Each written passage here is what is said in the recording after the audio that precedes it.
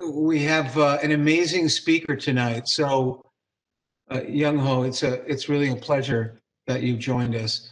Um, well, let me begin by saying, uh, for those who may not know me, uh, I'm Evan Douglas, the Dean of the School of Architecture at Rensselaer Polytechnic Institute. and before I introduce our distinguished speaker, I'd like to acknowledge our generous sponsor this evening, uh, Frank Pitts uh, class of 1975.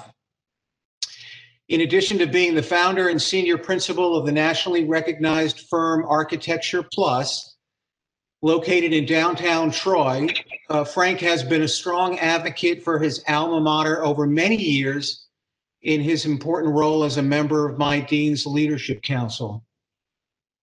I believe Frank is in attendance tonight, so on behalf of the entire school, I want to thank him for his kind support in enabling us to bring distinguished architects from around the world on an annual basis to the School of Architecture. Uh, thank you, Frank. It's a great pleasure and honor to introduce tonight's speaker, the internationally acclaimed architect, Yung Ho Chang. A deeply thoughtful citizen of the world, uh, Chang has spent a good portion of his mature years attempting to grasp the quintessential character of the Chinese culture as interpreted through the discipline of architecture.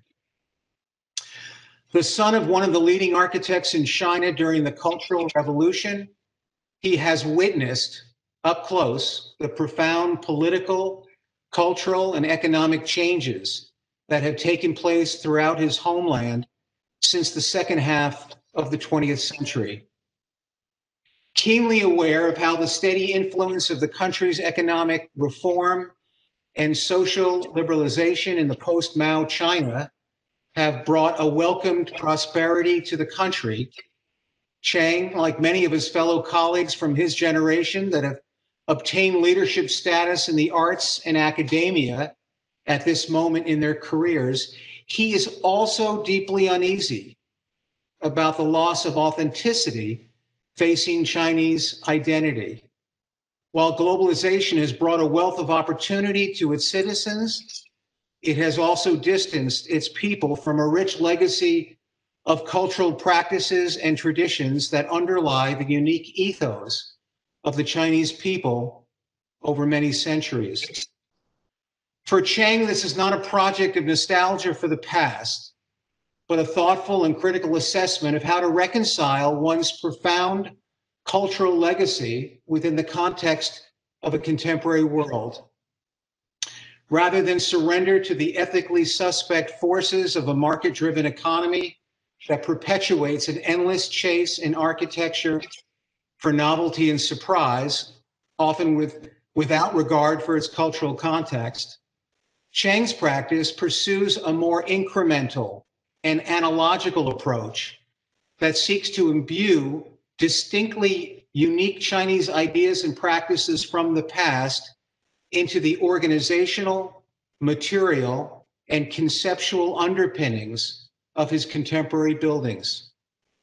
Conceived as a productive form of resistance, his world renowned practice calls attention to the potential risk of an increasingly homogenous world, as well as our moral obligation as architects and caretakers of the built environment to consider our buildings of the future as important cultural reliquaries containing invaluable knowledge for generations yet to come. A few words about his bio. Uh, educated both in China and in the US, Chang received his Master of Architecture degree from the University of California at Berkeley in 1984. Since 1992, he has been practicing in China and established Atelier Feichang Jianzhu, FCJZ, with his wife and partner Li Jialu in 1993. He has won a number of prestigious uh, prizes, such as the first place in the Shinkenchiku Residential Design Competition, a Progressive Architecture Citation Award, the 2000 UNESCO Prize for the Promotion of the Arts, an award in architecture from the American Academy of Arts and Letters, and the China Architecture Media Award Excellence in Practice Prize. His firm has been recognized as one of the 100 plus best architecture firms by Domus Magazine. Recently, his Jishou Art Museum has won the American Institute of Architects AIA 2020 Architecture Award and the Arch Daily China Building of Year Award 2020 award as well. He has published a number of highly respected books and monographs on his practice. His work has been exhibited internationally, including six times in the Venice Biennale since 2000. In addition to his renowned practice, he is also highly recognized for his impressive accomplishments as an educator. He has taught at various architecture schools in the USA and China. He was a professor and founding head of Graduate Center of Architecture at Peking University uh, from 1999 to 2005. He held the Kenzo Tange Chair at Harvard GSD in 2002 and the Saarinen Chair in Michigan in 2004. Uh, and between 2005 and 2010, he headed the architecture department at MIT. He was also a Pritzker Prize jury member from 2011 to 2017. Uh, it's a, as you can tell, it's a very impressive career, uh, and we're really honored and thrilled that Yung Ho Chang will be joining us tonight. Welcome.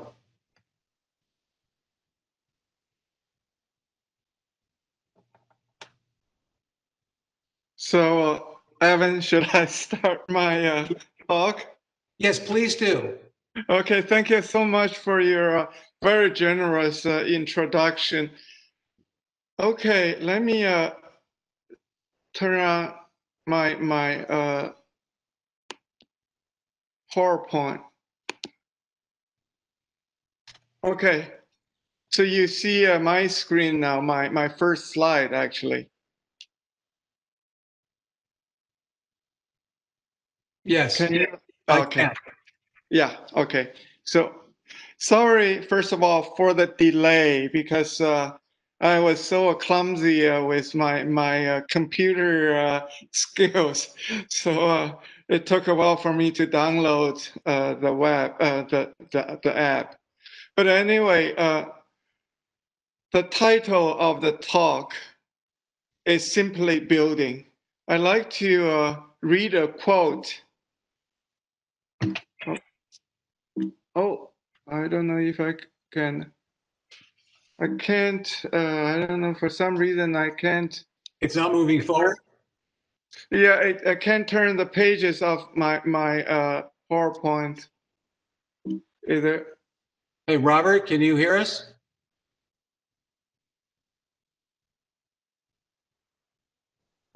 Um, yeah, just select the, the, the PowerPoint app down there at the bottom to make it active. And then you should be able to hopefully advance it. Okay. Select Uh, the PowerPoint in the dock. I see.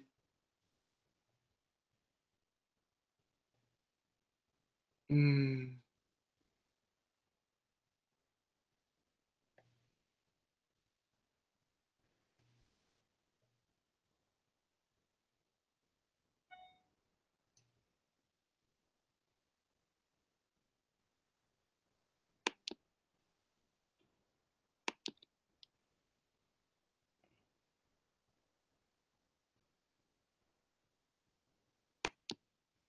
Okay, I I figure out a way to do it. Is okay.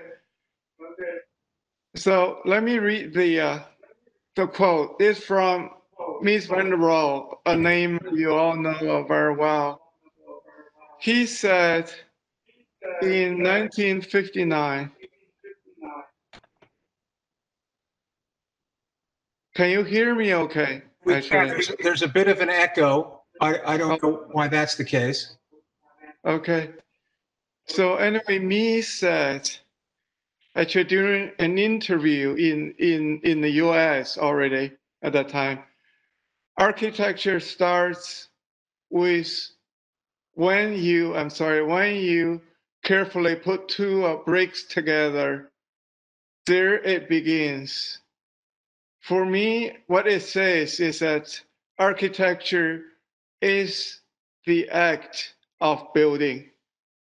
Now you know why I'm using building as, as my title. And then now I like to take two things in the quote, perhaps in a literal way. First of all, about the two bricks. Secondly, about the word careful. So you're looking at more than two bricks, but the idea, of course, is to put some bricks together. You're looking at a running bond, something very basic uh, and conventional. And that is how we started a very recent uh, project. And then we went from there to something a little more uh, elaborate, as you can see. And then here is the uh, construction site. I, I don't know if I can, okay. So you can see uh, these uh, uh, mock-ups are there on the site. What's interesting, of course, is that building in the background. I don't know if that would give you an idea where the project is.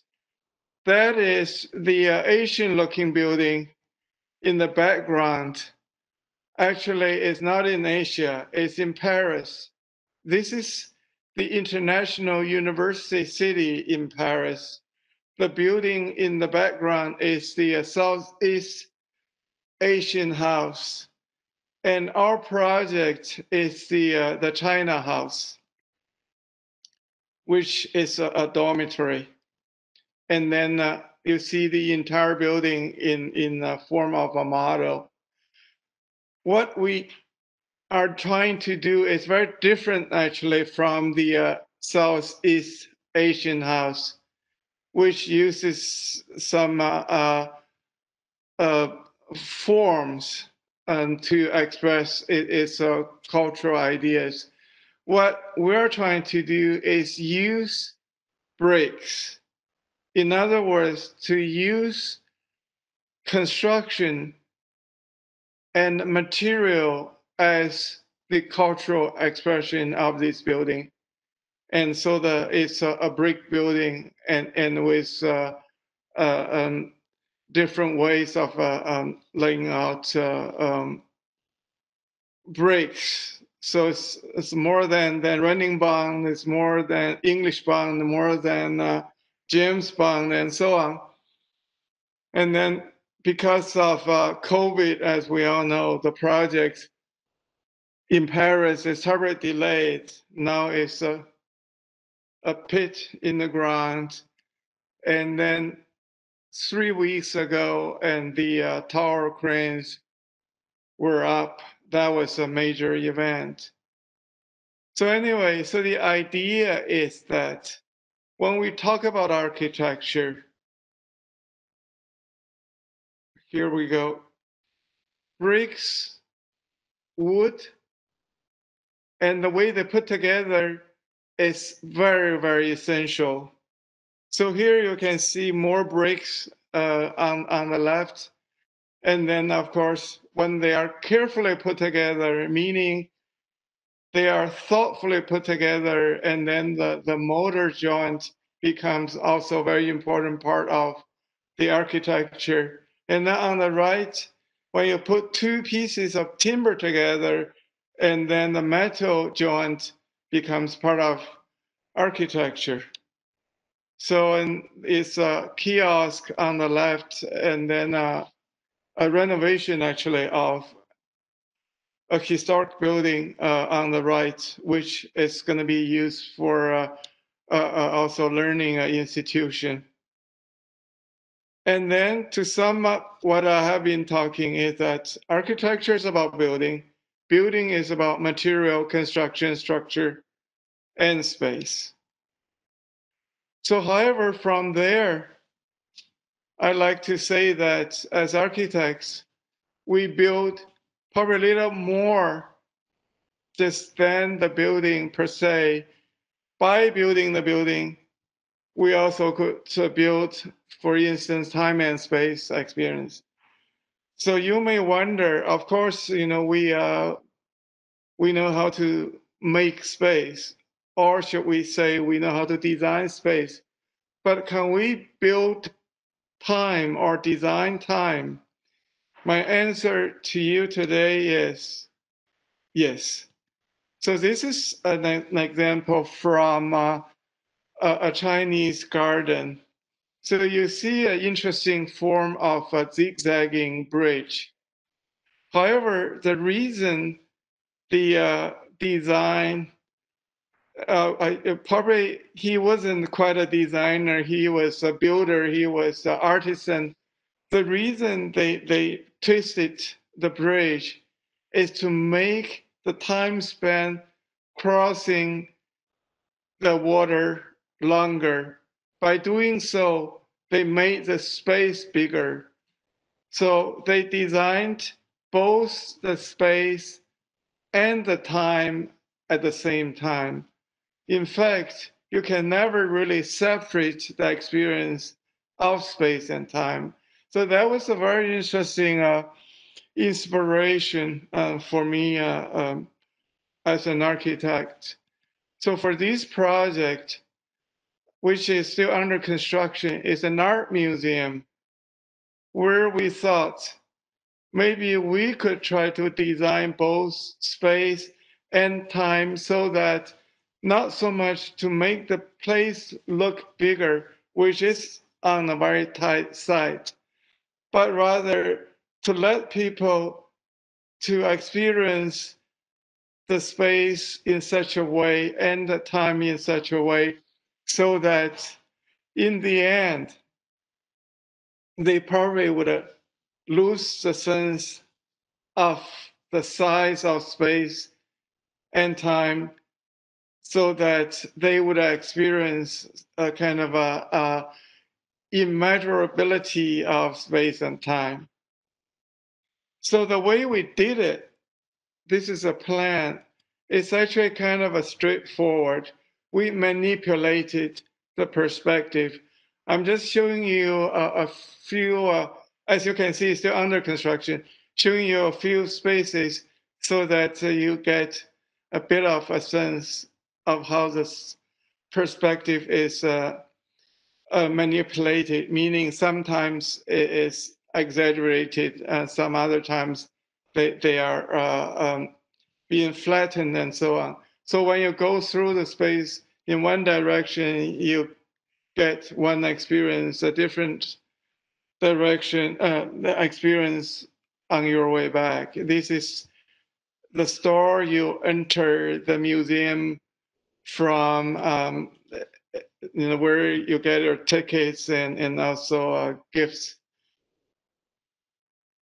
and then and then you you pass through uh, actually a water court which very exaggerated uh, uh, perspective and then you would lose a sense of the depth of the site and it goes on and on and uh, i just gonna flip through some slides but you can see uh, actually the perspectival uh, um, quality.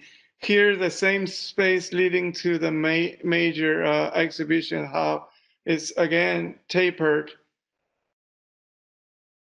And, and, and then, uh, uh so the space is expanded in one direction and uh, perhaps shortened on the other way.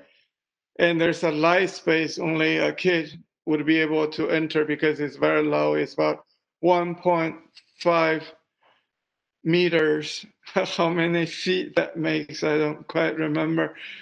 Anyway, and then the, the big exhibition hall, again, the uh, um, perspective is manipulated. And so the roof you're looking at is a pitch roof, but it slopes down and then uh, it makes a, the space appears even longer.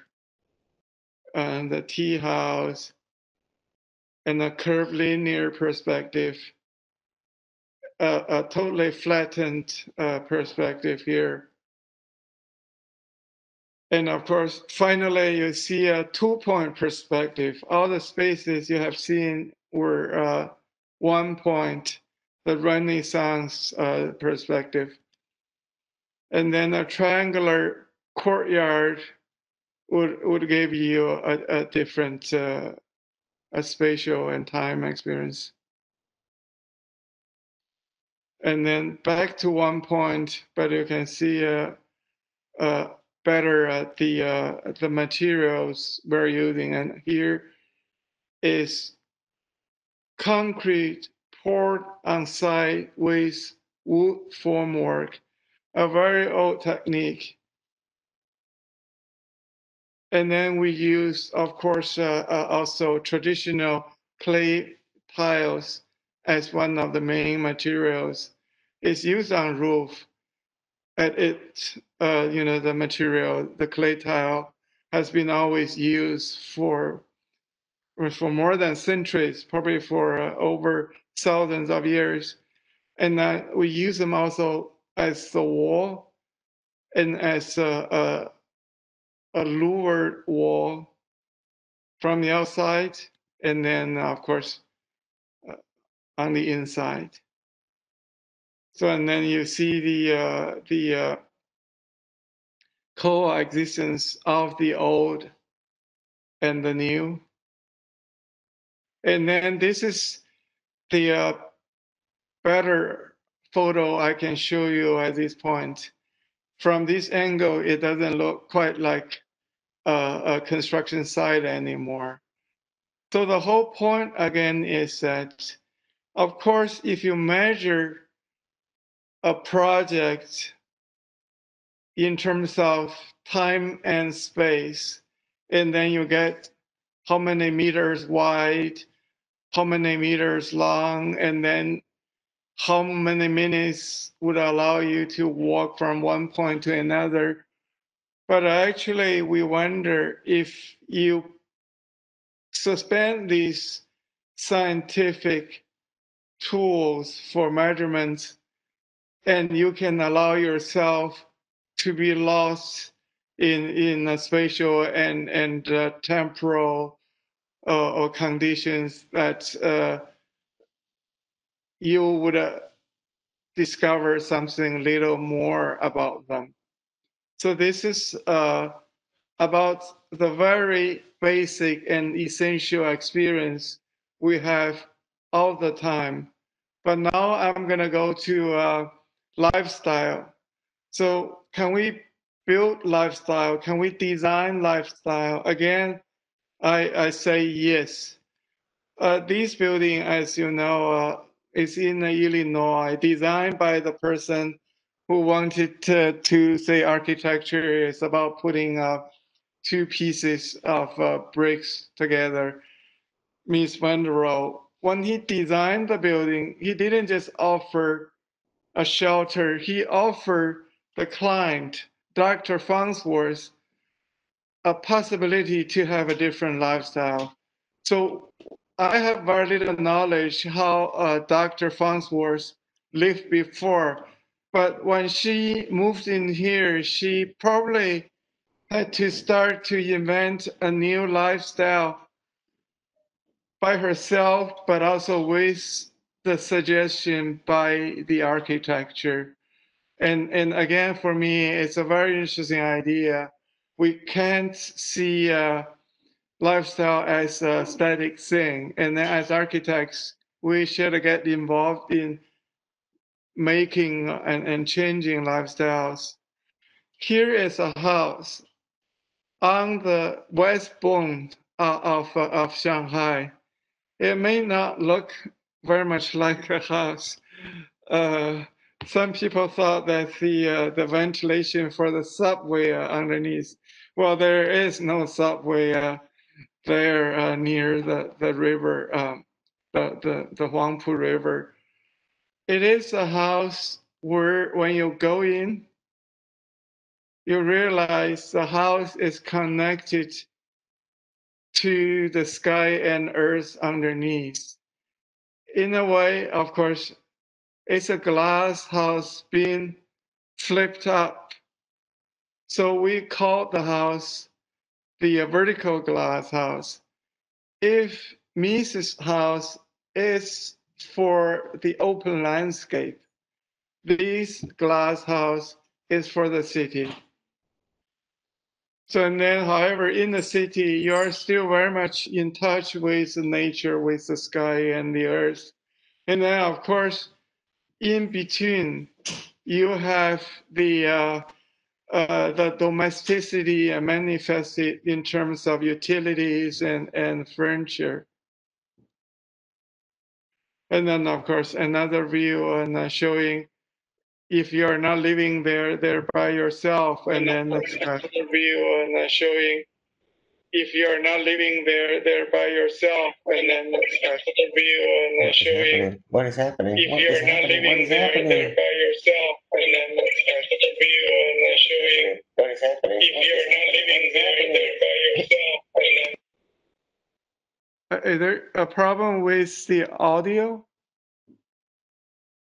Uh, Hello? It seems like you corrected it, Yung Ho. Oh, It's, it's okay. okay, it's okay now. oh, okay.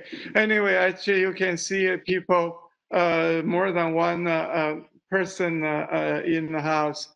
I imagine originally, uh, way back in 1991, when I drew uh, some drawings for a design competition in Japan, I thought it it was for one person, but uh, and then uh, some uh, when the house was built, some friends they want to take the whole family in there, and they thought it was it was fine. It, it's very interesting to me. It's not a, if uh, it's possible or not. It's their imagination, the inhabitants' imagination, to see how the house can be used uh, in in uh, in other ways than what the architect thought.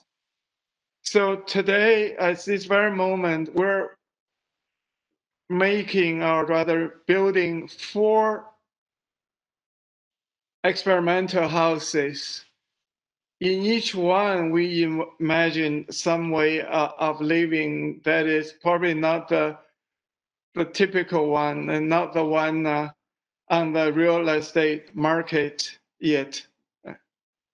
So here, uh, I'd like to show the house in the back first. It's uh, another version of the split house. We had one built in the uh, uh, many years ago, 20 some years ago.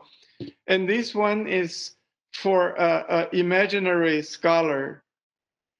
And, and it's kind of a simple, actually. It is on one side, uh, on, on your left, um, is uh, on the upper level, is an open living room. And on the left is the, uh, uh, the study, which is uh, quite enclosed. There's skylight and, and just a small window. However, the scholar's life is very much evolves around uh, during the day uh, with this body of water. It's actually just rainwater in there. Uh, uh, the photo was taken after a heavy rain, but it's going to be a pool in the middle and with a platform bridging the two uh, halves of the house. So basically, you you go you move from work to uh, to uh, live uh, by crossing the water. So that's the idea. So you're living with this canal or pool. And then interestingly, uh, in this house, you're looking onto an art museum designed by the Portuguese architect Álvaro Siza. That's uh, the curvilinear form you can see from here. So uh, I only have uh, just few photos because I'm thinking of showing quite a few projects since they're not done yet, uh, these houses. So I'm just gonna go through them fairly quickly. So you're back in the village and now let's go into another house. And actually you see the house here on, on your right, and then you see a tip of something poking out from the house. And that actually is uh, two, uh, uh, rather to say, a cruciform beam inside the studio. The house is for intended for a painter or sculptor. Some person works with uh, plastic art. the the the beam actually uh, is for uh, people or the uh, artists to go up and to uh, look at uh, her work or his work. The person up there is one of my colleagues, a young architect, just try too anxious to experience experience the beam. So we're putting handrails now, uh, of course, and uh, and and uh, and then just uh, completing the house. So the artist can go up there and then to look at again her work or, or his work, and then can turn around to see the landscape outside. So this house is about living with the beam. And then the next one is about living with a roof. Every house has a roof, but this roof, uh, the, the house uh, in, the, in, in the back there, in fact, is inverted. So inside of the house, you uh, it's like the the previous houses. So you go from the house. I'm sorry, the uh, the the uh, working uh, quarters, the studio, and to the living quarters uh, on the on the left. So you have to to see it as just one space in the house, but also you can see it as two uh, two uh, spaces sharing uh, a house. Uh, they're together, but you don't see uh, the other side. And then here is the living quarter. So and, and uh, of course uh, it's, it's in in uh, still just the the very very uh, unfinished uh, stage. The last one is a little behind, so I like to show you some uh, um, drawings I did again many years ago. So it pretty much take us for these houses. I can't remember how many years, but I would say more than 30 years for them to be realized. So I did these drawings around 19, also 91, 1991, 1992, when I was actually teaching uh, uh, in, in the US at, at Berkeley at that time. So the idea is that uh, it's another version of a glass house. I was terribly interested in in glass house, and I thought since a glass house designed by by Mies van der or Philip Johnson, they were so open that uh, they uh, didn't really offer the uh, inhabitants much uh, privacy. Maybe uh, I could do do yet another version of it with privacy. So it's very much about the glass house enclosed by a courtyard, walled courtyard, so that you have a transparent house, but also you have privacy. So you can look at the model. And then the studios or studies, exhibition space, anyway, workspaces are on the ground floor. And then on the upper level is a glass house.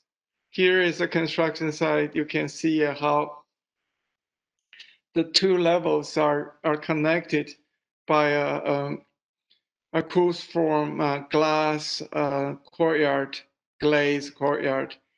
And here is a construction uh, site. You can see the quality of the uh, um,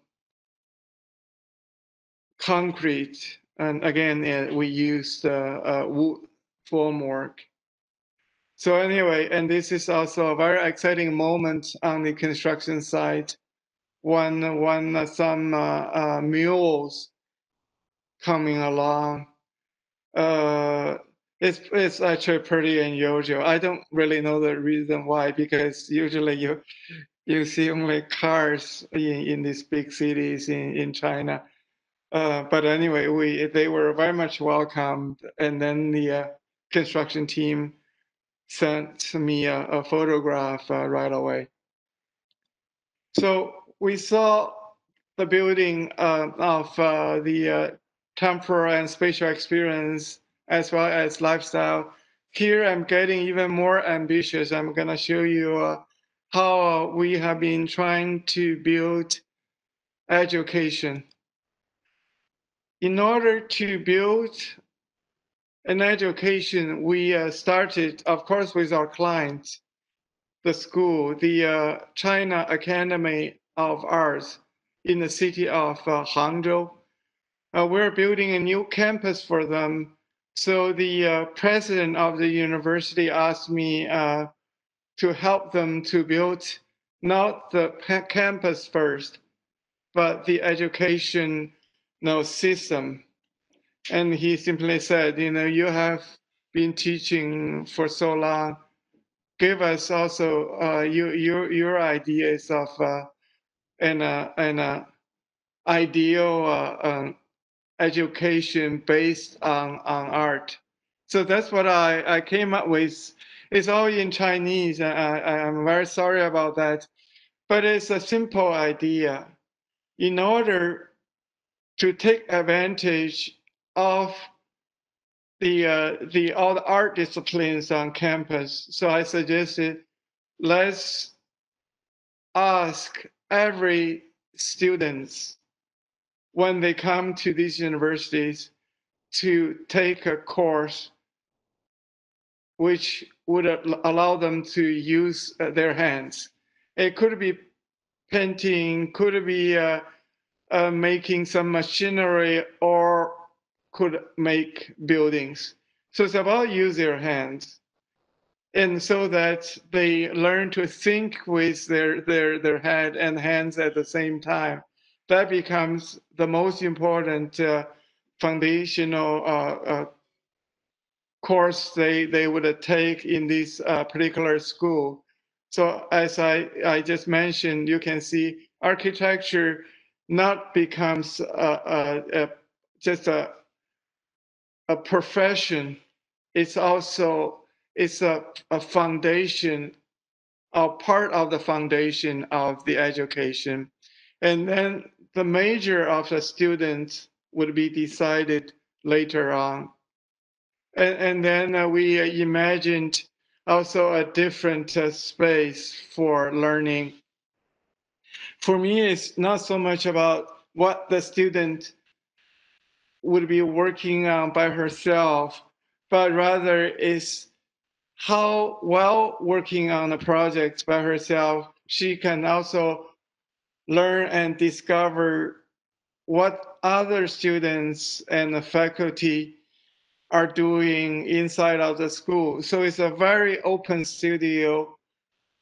She can see someone, probably uh, someone she doesn't know, working on something she doesn't recognize, probably uh, in the corner of the studio, and then she could approach the person and and to discover something uh, she's very curious about and, and make a friend. And then when she enters upper level, she and uh, her friends can team up uh, and and and then tackle a research project. This kind of openness uh, resulted in uh, a form. Of course, uh, it, it, reminds people probably of rather uh, old uh, studio and, and our workshop. But the idea is to actually have a very open education. So when they graduate, the reality is that there's not going to be a, a the, you know, for our students, uh, it's, hard to imagine that there, there are institutions, a lot of institutions, our schools uh, they they would uh, they would uh, uh need uh, um, new blood and let alone for these young people to start their independent practice and so on. So we're imagining by having this open education, the young graduates are able to uh, to design their own career.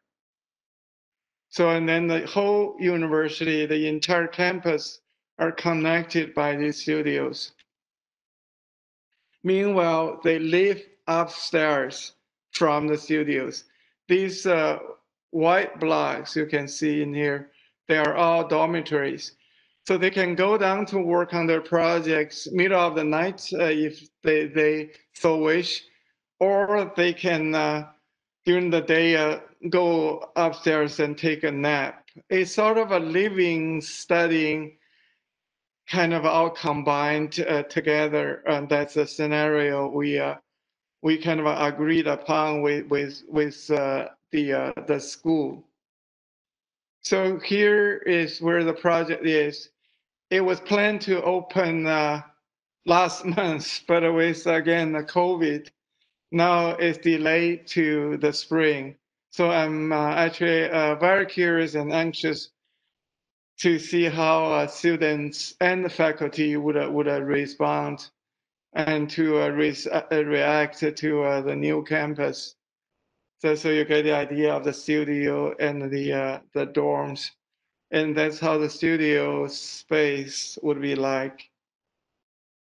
Another view of the studios and then you can see how many layers of the spaces uh, uh, it would, would would have, and then it creates sort of a kind of an infinite. Uh, uh well, that's an exaggeration. Endless would be another exaggeration.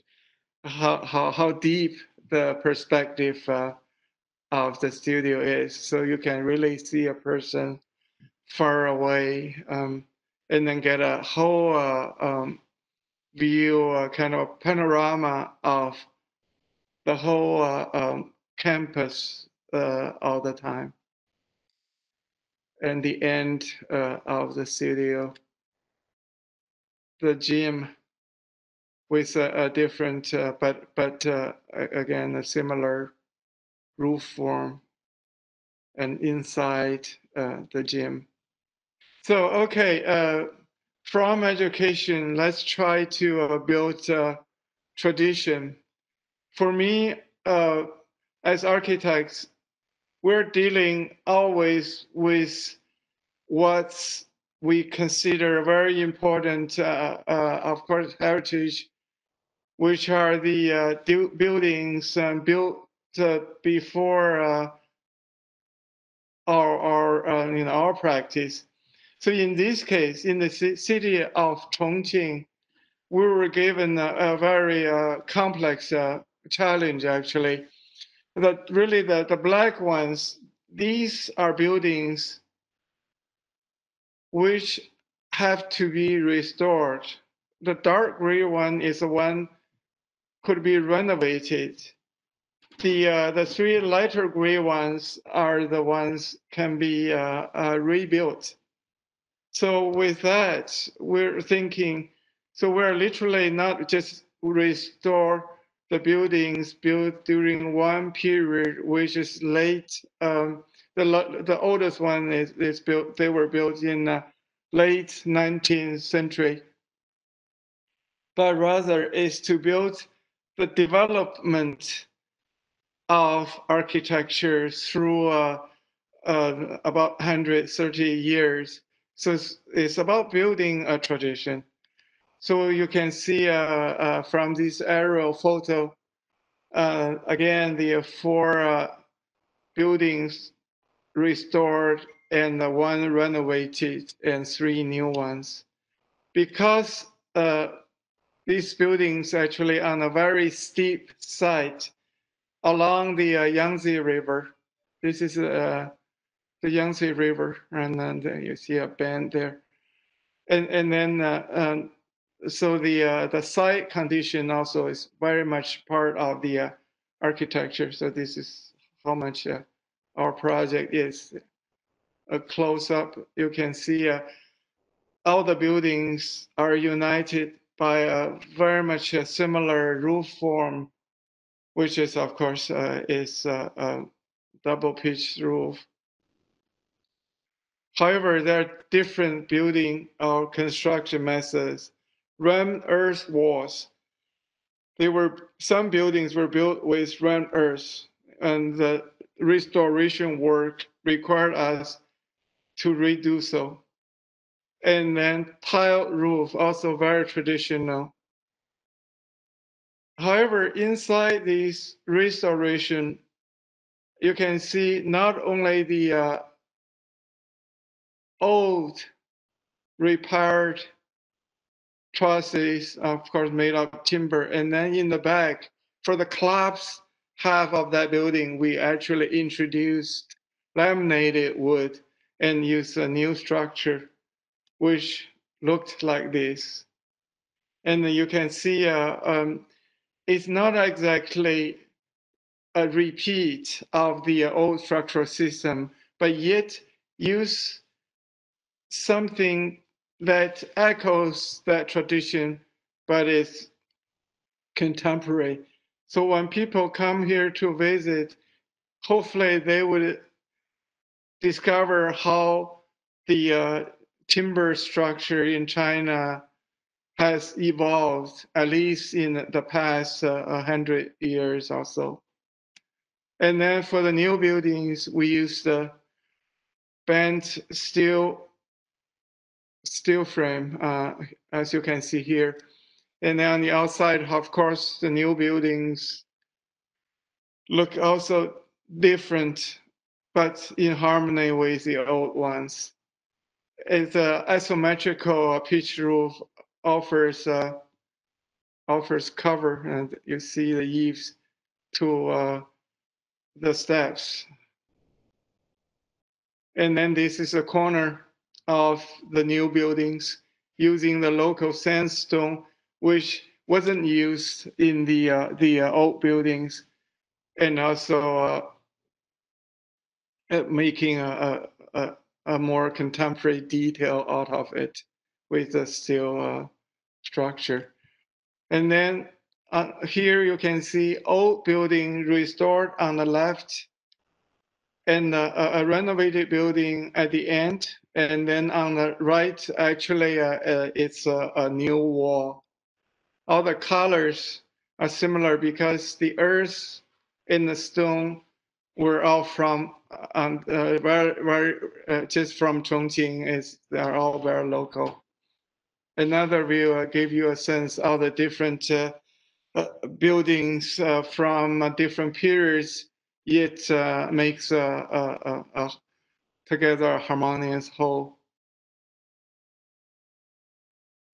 So getting even more ambitious and then uh, uh, talking about how architecture could address not only tradition, but also a community, perhaps even a society and, and, and as well as a city we were asked to design a museum in a rather remote town in the mountains of uh, the province Hunan.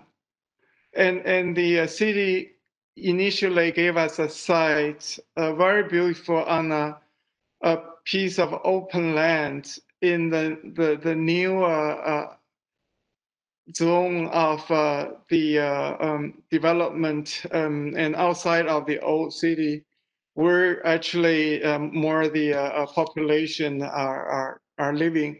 So I thought uh, why people should uh, make an effort to go out of where they live to see art. I, I'm an art lover and sometimes I'm lazy to make such an effort so could we actually uh, turn the whole thing around to bring the art to the center of the, the, the densest part of the city? And then so people would, uh, would uh, encounter art with literally no effort, which of course the city uh, is the uh, center of the old city. And then it happens that there's a river right in the middle of the city so our building, our art museum, eventually became a bridge. And the uh, there's a donor who is an artist, liked the idea, and the city also liked the idea, because uh, nobody also uh, owns the uh, the land over the river, so city uh, can can uh, actually use it without much cost.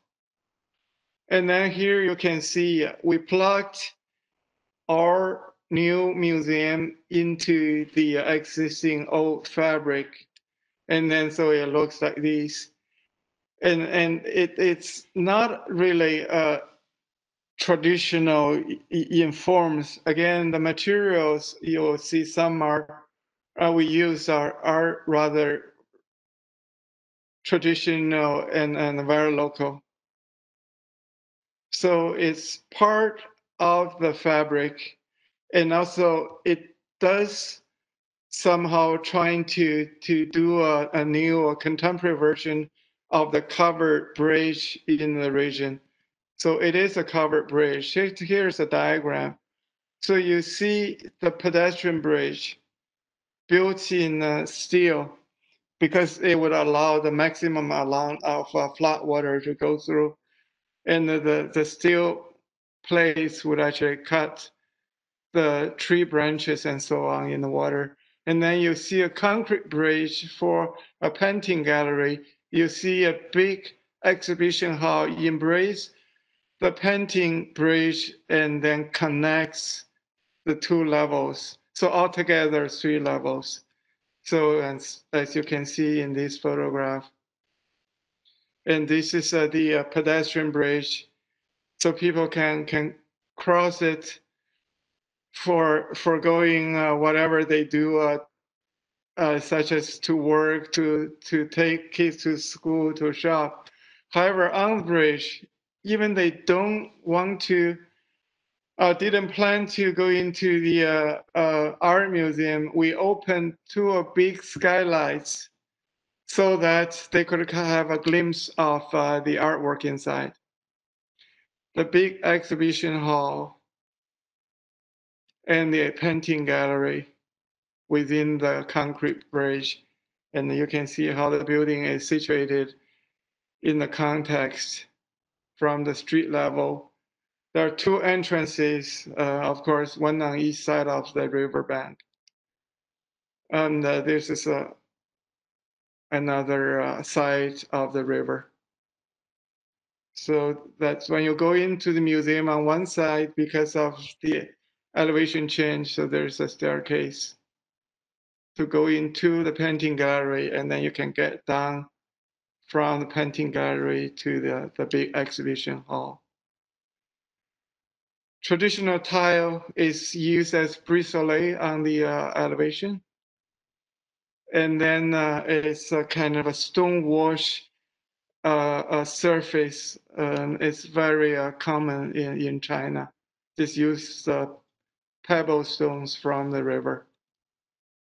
And then, of course, uh, again, uh, it's a building which is old and new at the same time some people thought the building were there uh, all along. That was the uh, best compliment uh, we, we got for the project. So um, this is uh, the last architectural project I'm going to show. As you can uh, see, uh, our ambition has no end. We also asked the question, could we design or could we build city city, as we know, is uh, a, very complex uh, thing to uh, be designed. What we did is, is we say, well, maybe we can't design every single aspect of a city, but we could design maybe uh, one thing or two.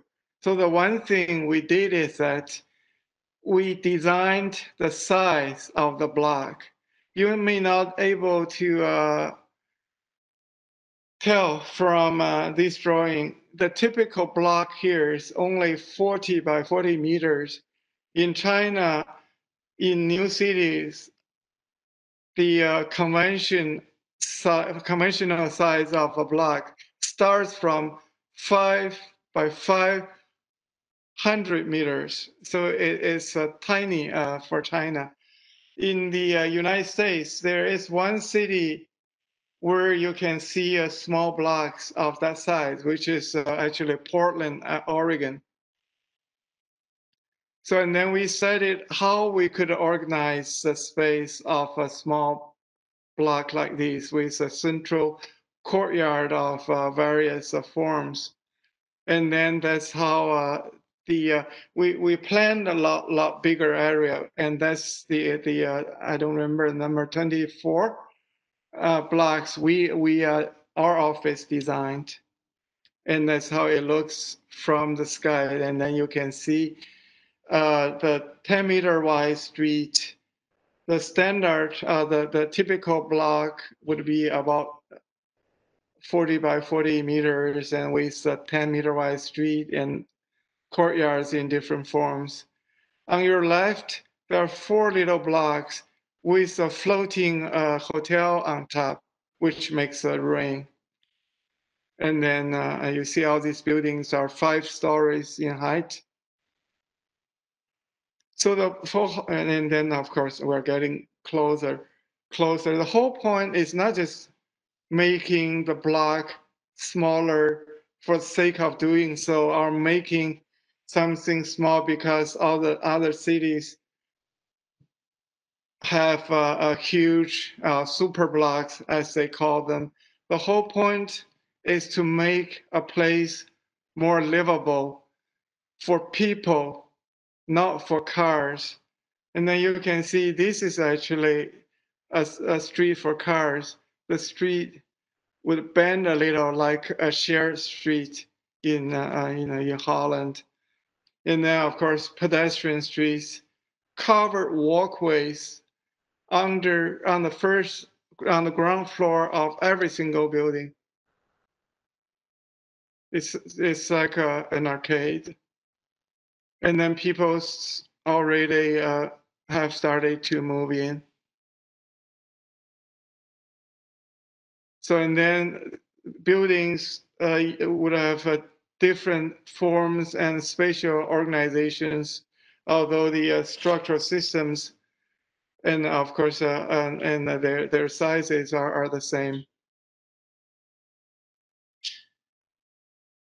And then in each building, uh, we call them actually block building, see courtyards.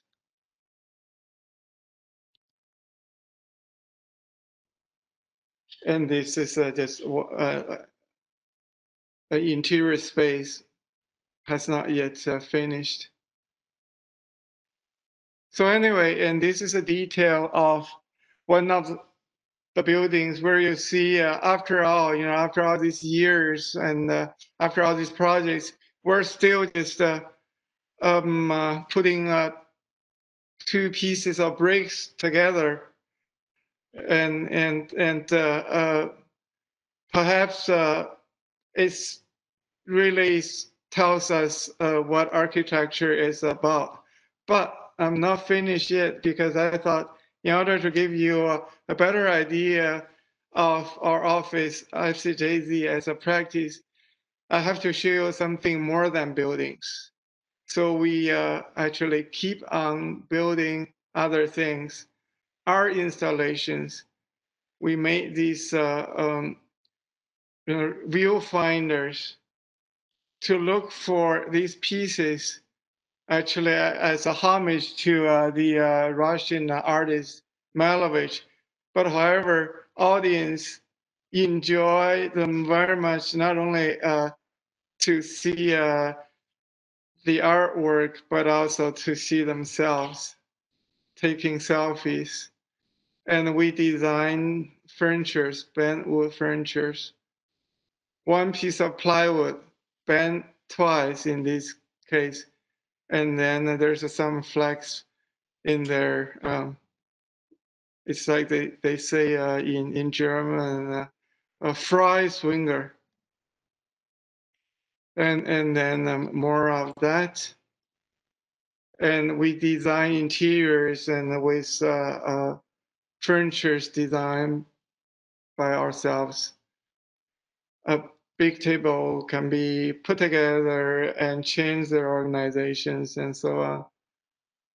We designed a little push cart for this is a cake shop. So cake, bread, and ice creams is a place I would love to go all the time. And then we uh, use uh, a CNC machine uh, to uh, carve a piece of a formica surreal, uh, particular material produced by formica to create translucency. It looks like rice paper, but actually it's uh, made of a man-made stone. And then we do actually clothing design. This is a, a, a dress, as you can see, it's two-dimensional cut in front and three-dimensional cut in the back. Stage costume and stage. And we do a dinnerware. We design, you know, plates and pans and pots where we're doing cups right now.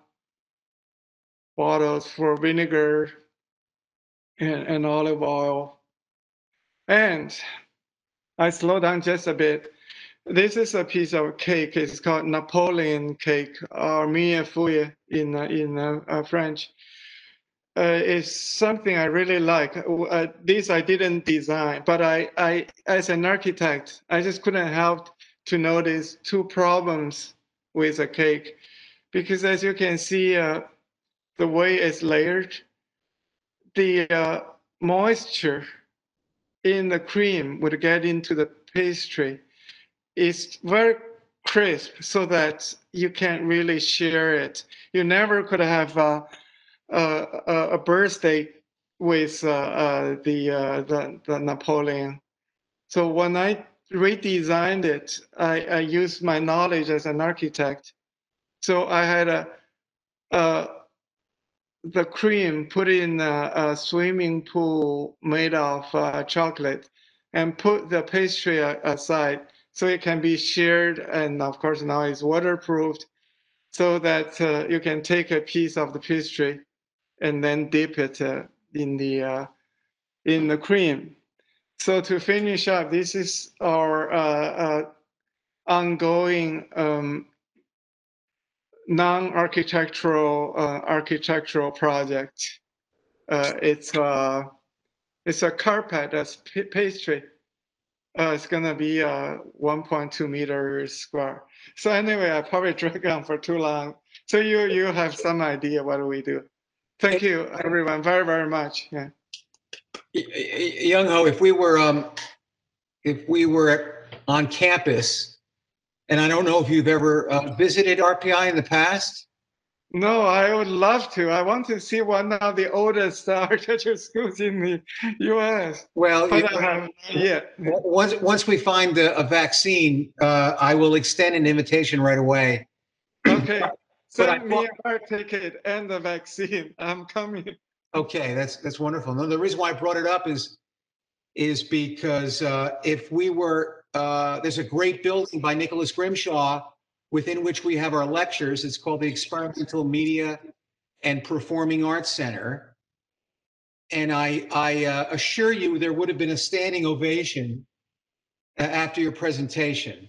So I, I know that one of the outcomes uh, of, uh, of the pandemic and presentations online is that after presenting extraordinary work, which you have, and I, I want to applaud you on the on the highest level. Uh, the silence uh, can be deafening, uh, but but be assured that it it it's uh, no indication of uh, there's no lack of appreciation and- respect for what you just shared with us. Um, wow, it's it's uh, it's a tour de force. M- most of this work I had known, some of it I haven't, and there's a lot to talk about. So uh, before we we kind of let's let's talk a little bit about how we want to structure this. I, I thought I would uh, open up uh, a conversation with you. I have a- I have a series of questions for you, uh, and then at some moment we'll open it up to our audience, uh, comprised of students and faculty. So I'm gonna I'm gonna pull uh, back a, a bit from the work, which I can't wait to talk about, only because um, I think in your particular case, and I mentioned this in my uh, uh, opening introduction, uh, your own uh, history and upbringing uh, has probably had a, a profound uh, impact on on on the way you think about the world and how you structure your practice uh, conceptually and philosophically and even artistically. Um, from my understanding, uh, uh, based on uh, my, uh, you know, the effort looking into your background, your your father was a chief architect uh, for the Communist Party during the Cultural Revolution, and I'm sure, like any great mentor, uh, he's uh, left a, a deep and resounding impression. But so did that uh, time in the history of China, and and like one of your projects, which was the bridge, uh, your very um, journey uh, in your life has crossed these uh, rather uh, complex and um, profound uh, ideological and, and political terrains. So I'm curious, in any way that you would you would like to talk about it, could you tell us a, a little more about the influence that your father uh, had on you and and how it's contributed to the architect and person you are today? Um, see if I can make a, a long story short. Um, well, first of all, uh, my father, uh, as you mentioned, was uh, the chief architect of the uh, uh, the the Design Institute of Beijing, and and uh, before the Cultural Revolution, he was most active. He designed the History Museum of China on the Tiananmen Square, and for instance, and uh, and and quite a few other uh, civic buildings, the planetarium of uh, Beijing, and and so on. However, um, he uh, he and my mom they decided that they didn't want to impose too much on us. Well, I have a brother. So we were, uh, is that the term of free range chickens? Yeah. so uh, we, they gave us really a free hand and uh, uh, we, uh, and we, we had fun. And it's not like, you know, the Chinese, uh, typical Chinese kids, they study all the time. And so uh, we're almost the opposite. We, you know, we went swimming and in the summer, skating in the winter. However, um, somehow uh, my dad would uh, would uh, he loved art. There was only one book about Mhm. world art he borrowed from a friend, but he, in English, and he he uh, knew English very well. He would tell the stories of these paintings to my brother and I, just you know, just for fun Yeah. and he would show a Van Gogh and say, "What what the heck is this? I I don't understand." And and so it's not, you know, it's not.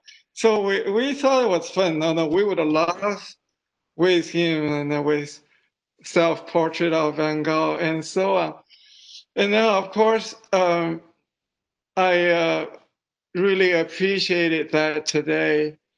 And so basically, he offered uh, opportunity for us to love something Mhm. And, uh, and that was very important. So my talk today hopefully Mm. i offer uh, the opportunity for the students to maybe love architecture a little more however difficult uh, you know it is to be an architect. So and then and also you can see uh, the uh, general atmosphere during the late 60s and 70s during the cultural revolution was so different from what we had uh, at home. Mhm. um, so uh, so so that's my uh, upbringing and uh, uh, only until the end of the cultural revolution uh, i was the the colleges reopened. My brother and i was very uh, um, anxious to get in. And i wanted to study art because of the uh, Right. the influence I had. But my paintings were so lousy that I had no chance. so my father at that point uh, said, "Why don't you consider what I do?" So architecture doesn't require you to be a great artist. Also, you don't have to be good with math and uh, physics and so. So that would work well for you. And then I, uh, the only time kind of I listened to him as, you know, the, his uh, fatherly uh, advice. So I studied architecture. Uh, uh, Yung Ho was, given the political climate during his career, uh, was it unstated that that um, one's kind of individual uh, uh, uh, expression as an architect needed to be uh, tempered in in favor of of a certain kind of uh, iconography or stylistic tendencies? Yes, yes, there were uh, mostly uh, two uh, stages, and he uh, experienced. Early on was fairly simple. Was uh, something that would would you know express the Chinese culture to some extent Yes. but mostly something basic economical and and and and of uh, of uh, uh, uh, so it's, it's basically the uh, kind of uh, uh, uh,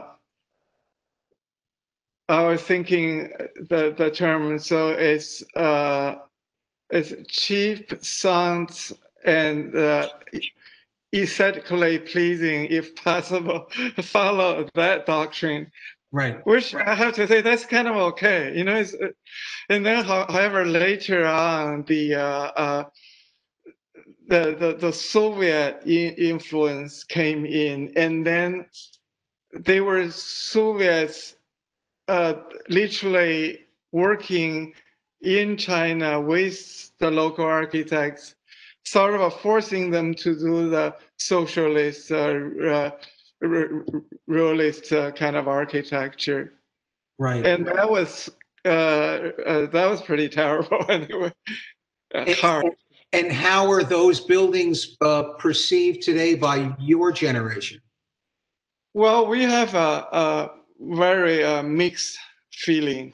Uh, mixed because, uh, um, of course, uh, especially as a son of uh, an architect from that generation, um, we I felt uh, my father. Uh, say my father's talents were kind of wasted because they had to do that kind of work, but yet there were certain quality in those buildings Yes. and we kind of uh, in my case i didn't get to go to the united states uh, and europe much later so I, I get a sense of western classicism classicism through those buildings so there there were certain qualities and uh, spatially formally and uh, in and uh, in terms of use of materials and so on and uh, uh, I, I don't think we can say uh, they were bad.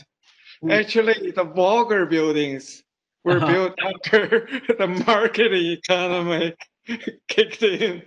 Yeah. Well, uh, yeah, but No, it- no, but it's it, it's interesting because um, uh, I'm thinking of Newly Map. I'm thinking of of your bookcase behind you. That that uh, cities, in fact, are like books, and Yeah. irrespective of taste and and uh, judgment uh, of the quality, they they actually uh, are in indexes of the cultural moment of that time yeah, right? And they contribute uh, to the city insofar as they they have a certain uh, they project some truth about the world, and uh, in this particular case, uh, uh, China at that moment in time. So, thank you. Uh, that was insightful. We fast forward you.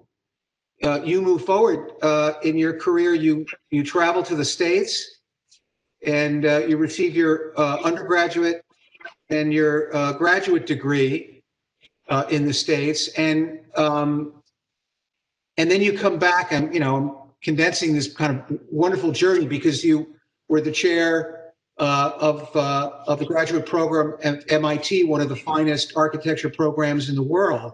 So you you have this kind of unique opportunity where you you have traversed the east and the west. Uh, there's something uh, wonderfully poignant about the fact that that you come from a family of a great architect, and and and then you are in the middle of this kind of western storm, which has its own kind of ideological and design bias, and and you come home. So in a certain way, you're you're a product of two worlds, and and and that's not necessarily a problem. There's something uh, uh, profoundly interesting about that, because as the world has uh, become globalized and and uh, borders and boundaries have have collapsed, uh, there's there's a greater flow of, of an exchange of information and and, knowledge, uh, and and yet given the fact that you're in this between world, as I mentioned earlier, you you've attempted to kind of reinterpret the cultural legacy of China in in, in a rather uh, unique and novel way. So could could you speak about um, that phenomenon? Um, I, I have to, uh, first of all, I wanted to uh, uh, see if I can, you know, give, give everyone uh, uh, at Rensselaer uh, some idea um, how uh, I was educated because I grew up uh, in my early days, right? When the Great Cultural Revolution broke out in in 1966 when I was 10 years old. You know, I was uh, a third grade um, kid, and then uh, it really uh, it was a huge problem for me, uh, which I only realized later on because I missed out the learning of the uh, uh, the, the, the Chinese classics uh, along with uh, uh, Chinese arts and so on. Mhm. They were all considered as uh, part of the so-called Four Olds, right? You know, so uh, so and then so I all my generation, I- still have trouble, big trouble reading an- ancient Chinese. I can you know I can use uh, modern Chinese fine, but uh, to read ancient Chinese uh, i- i- is is impossible. However, the funny part now is that I, I do want to understand, say, old Chinese philosophy, right? But I, I can't really read the uh, the uh, the uh, originals. So I had to, uh, uh, for instance, I there there's a French philosopher. His name is Francois Jullien. Jullien, he uh, he he uh, he of course he's a Chi- Chinese uh, uh, philosophy uh, expert. He he could uh, interpret the the Chinese ideas very well into into French. So and then so now the way for me to learn Chinese philosophy is how Chinese philosophy first interpreted by Jullien, and then uh, Jullien's writing translated into English, and then from English back to Chinese, and then I get the idea. Wow. Uh, it's quite a detour, but it's kind of a it's kind of a okay uh, because uh, you know I am who I am. I can't change my background, but uh, I I can use or rather take advantage of my background in such a way that maybe get something little different, sometimes a little more. So the whole idea of designing time came from ancient China via via, via uh, Francois Jullien. Right. Right.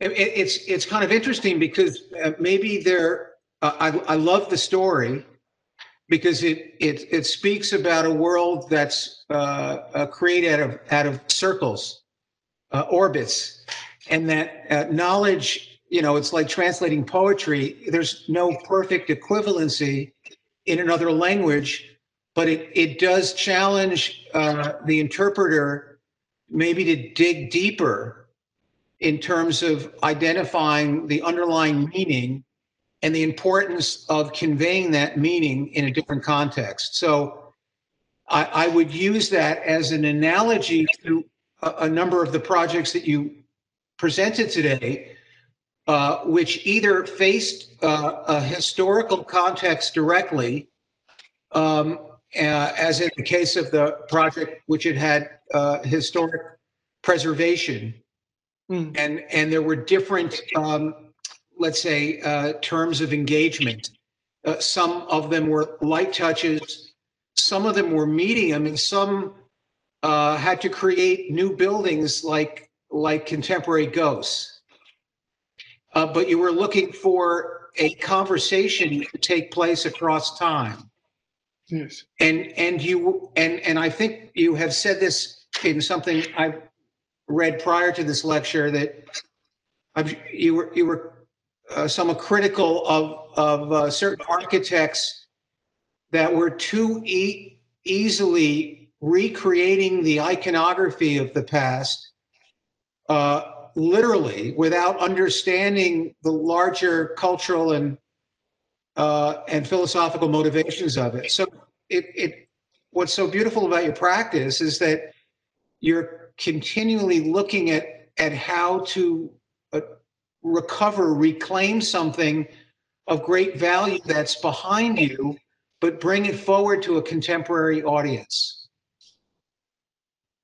And I don't think Yes. that's easy to do. And and quite honestly, um, speaking eh, from the U.S. and America, where there's such a short history, I, I don't think many architects understand how to do that in in in the U.S.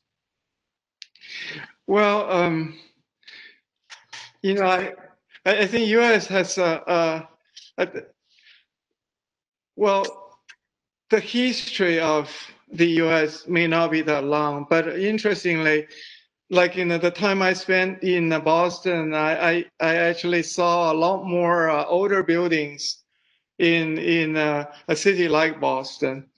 And and uh, may not be the good wo- wo- word. You know, we we we were in buildings easily 20, uh, I'm sorry, 22, 200 years old. Yeah. Yeah. So that uh, it's that living history for me. Uh, however uh, short it might be, uh, but it's actually uh, there so that uh, architects can can understand them in a very direct way. The problem in China is much of the country has been rebuilt God knows how many times through the history, so that understanding time becomes often a very uh, uh, abstract exercise.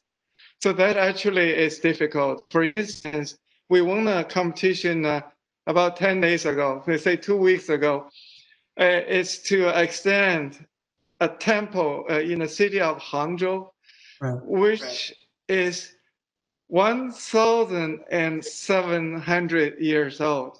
Wow. It's you know it's, it, it was initially established by Indian monks you know way way back right.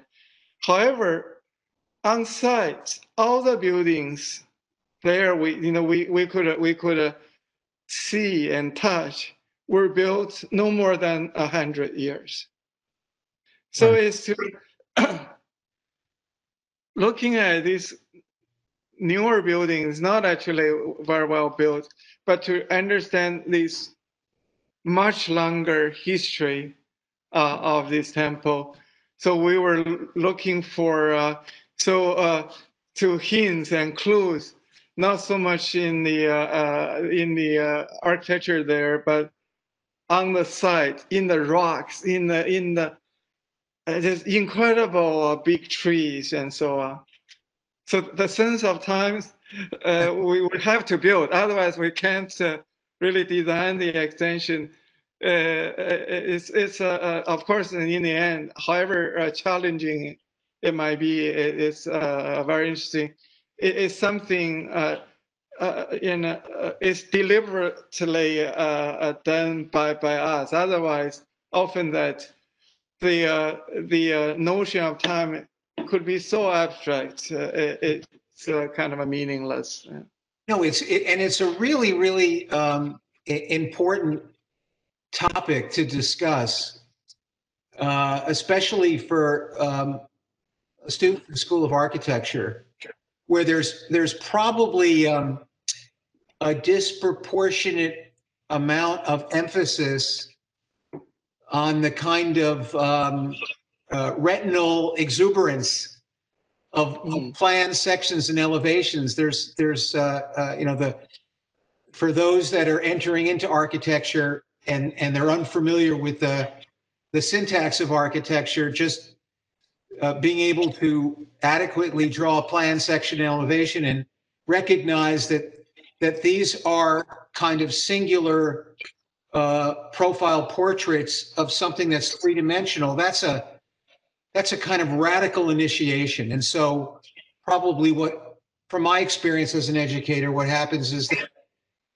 they become uh, even unconsciously enamored with the way things look.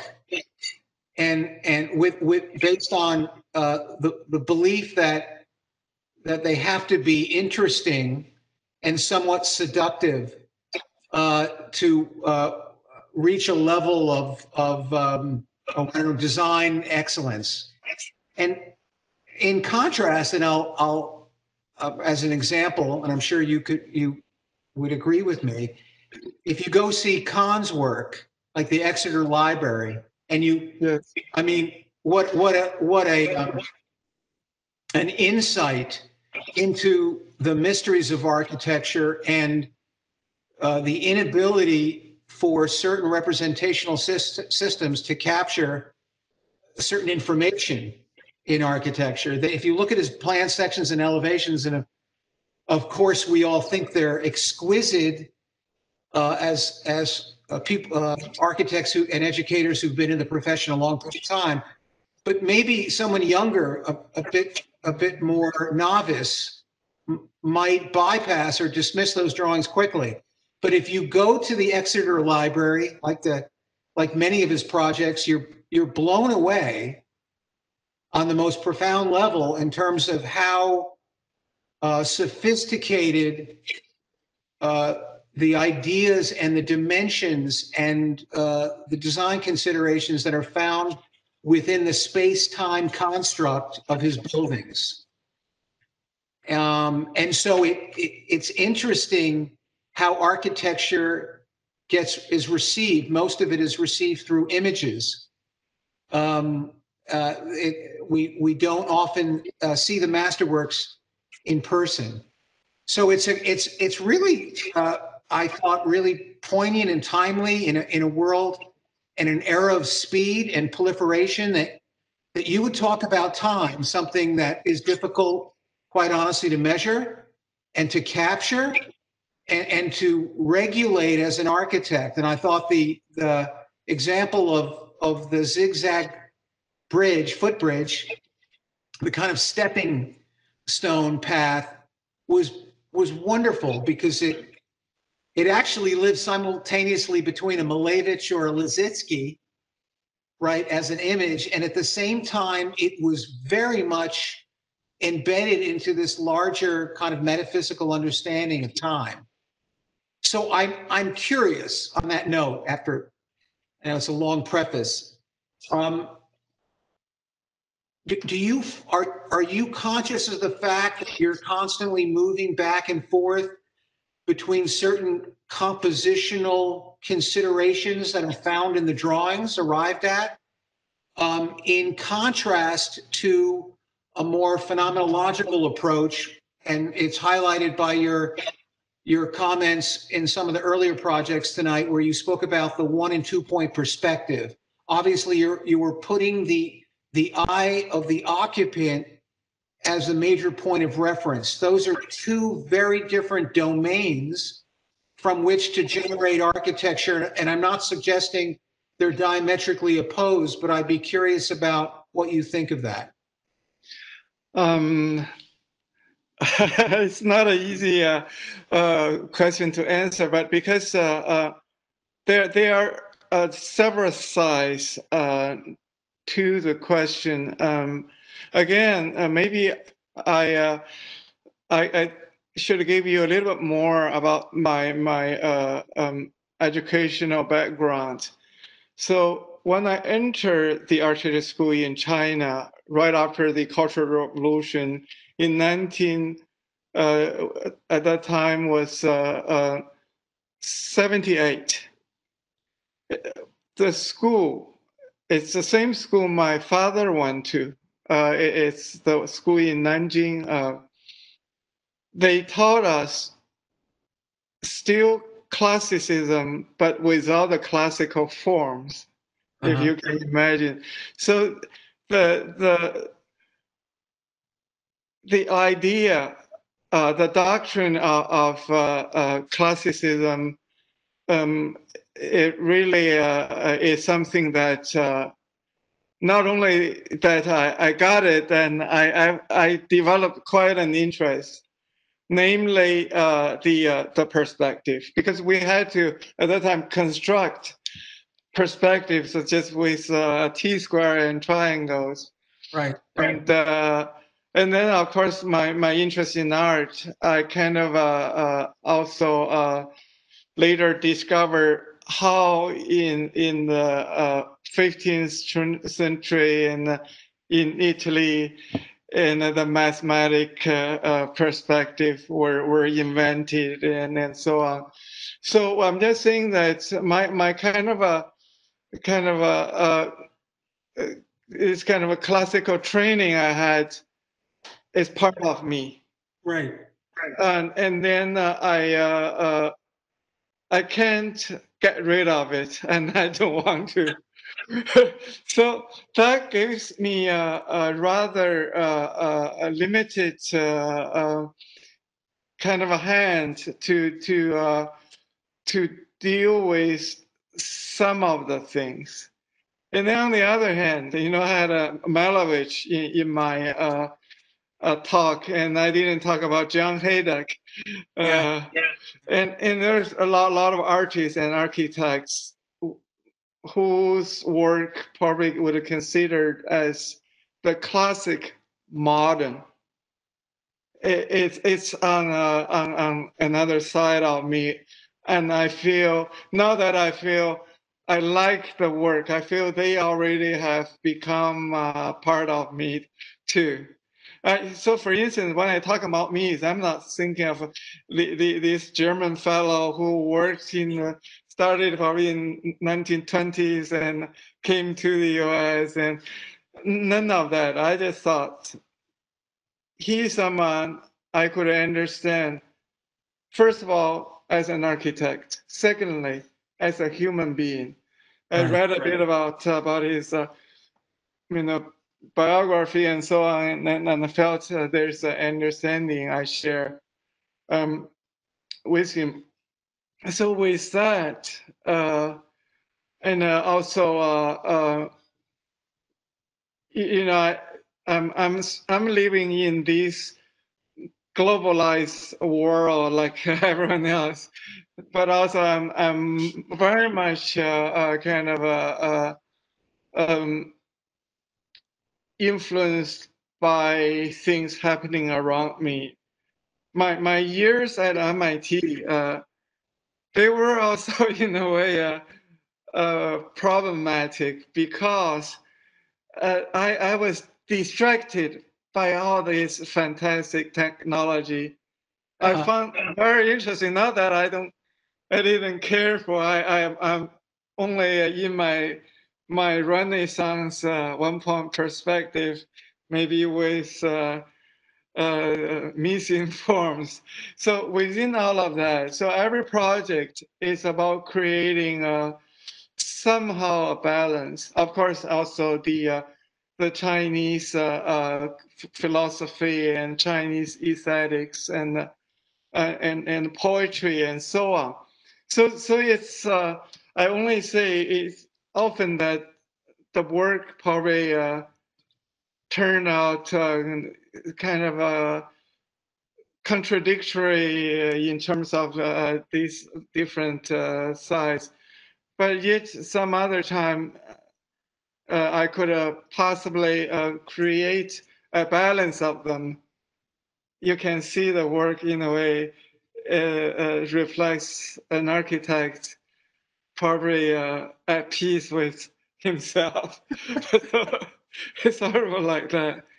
So I, uh, it, uh, you know, it changes all the time. I, I, uh, there's one thing I'm quite sure itself again is a contradiction. I have very, very uh, clumsy uh, hand. I, I can't make things. Um, I, I, I, I can draw, but not as well as like my father and, and, and others. However, I feel I have an understanding of builder architects better than the other kind, better than the conceptual ones. So from me, you know, all the architects I like very much are sort of a builder architects.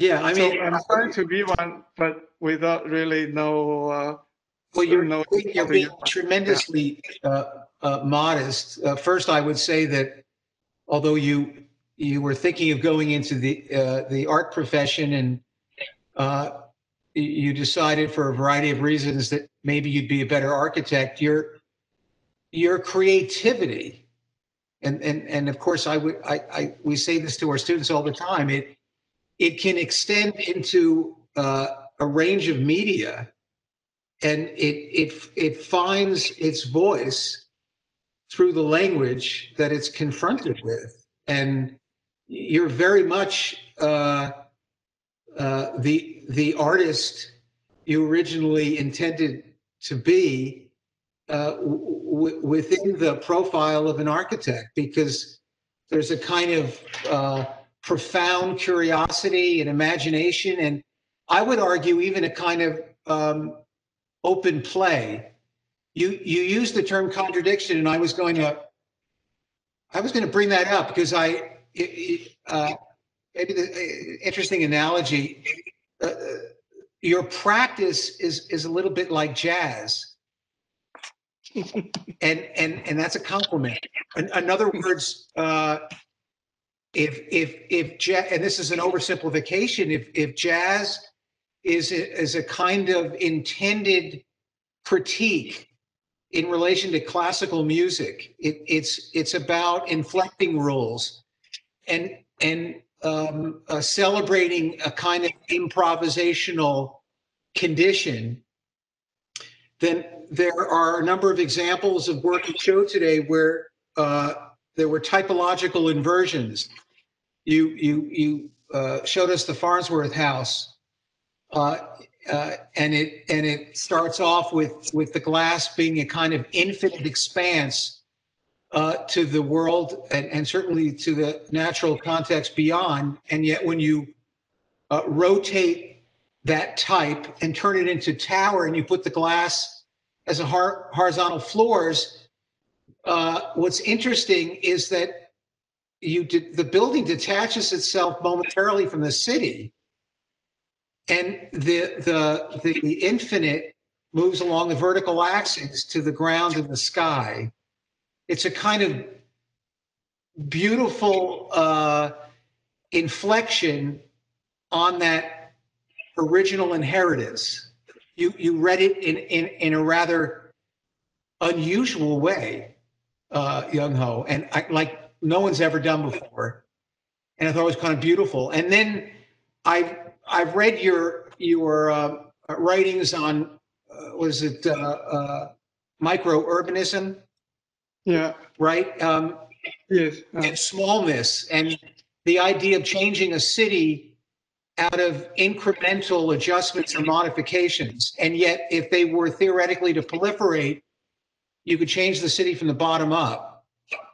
Um, so uh, I'm looking at that, at, at the vertical house. And what was the name of that house, by the way? Uh, vertical glass house. The vertical glass house. That vertical glass house, t- it's interesting that you can be in the city and out of the city simultaneously. Whereas um, the last project you spoke about was more explicitly about uh, urban life uh, with the canopies and the vistas and trying to activate the ground plane. In other words, it's it's more directly uh, uh, and explicitly targeting tactics in the city that could revitalize uh, the contemporary city. So it seems to me you come, that that there's a common uh, agenda, but you come at it from many different ways. The the four or five houses you showed, which uh, if we had more time, you'd probably speak about your influence from John Hejduk. They speak about a kind of uh, a private a private universe, right? Within that very small contained space called the house is this extraordinary constellation of ideas and and and, and uh, abstract ideas, right? Hmm. So yeah.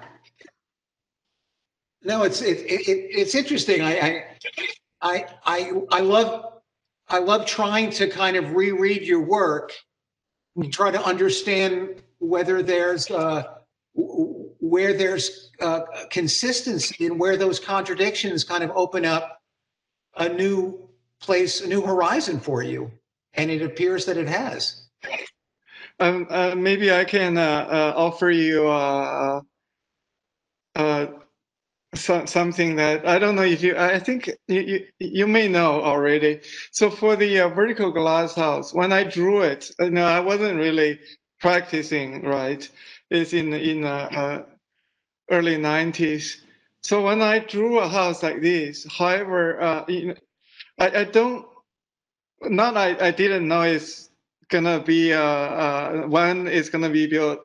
I thought it will not ever be built. I really, but anyway, I still thought, who's gonna want to live in a- in a house like that? If if if I would ever get a client, right? I because I thought, uh, you know, I I would try, and and actually in reality, my wife and I were the first people uh, living living in the house uh, for a few nights. So anyway, so so I so the house has to do with with uh, you know the whole modern tradition of glass house, of course, is from the West, and and then so I, I, was going through my mind and re, you know, in my readings, sort of searching for an ideal client. I actually found one. It's it's real, but the person lived in third century China, a, a, a thinker, a philosopher, who's mostly famous now today for saying, uh, the sky and the earth is my architecture, and the building is my clothes, because he uh, he always stayed naked at home. He's, he was very poor. He had one robe. He put it on when when he went out, took it off when he came back. But he made it into a philosophy. So I thought that guy, uh, his name is Liu Ling. uh, So he would be perfect. So in a way, I, I, I was thinking of modern architecture in a, in a sort of Western language. Yet I found a client who's a third century uh, Chinese uh, thinker. So uh, yeah, that's how it works. So it, it doesn't it doesn't bother me at all because that's me. But yet sometimes uh, it, it's sort of a to to be coherent is really not that easy. No, no, it may be, but the, the, the lack of coherence rep, might signify a different form of intelligence. Is that house uh, being used as an artist residency now? Yes, it's, it's a guest house. There's problem with, with the plumbing and so on, but yet uh, the uh, the, uh, our client uses it that way. But they they they were all along hoping a hotel next door would eventually take over the management. They they're they're you know they can't even if just one room, but they they yeah they use it from time to time. Well, listen, all the projects were beautiful. Why don't we, we open it now to uh, uh, the students and even the faculty? Uh, If, if anyone uh, has a question uh, they would like to uh, ask uh, Professor Chang, uh, feel free to put that uh, in the question and answer.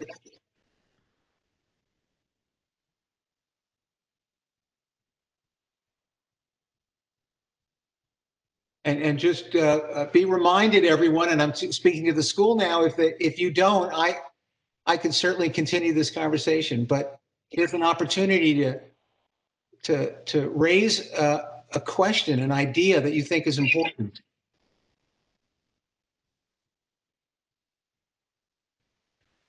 Hey, Robert, if you're listening, do you see anything in the chat box?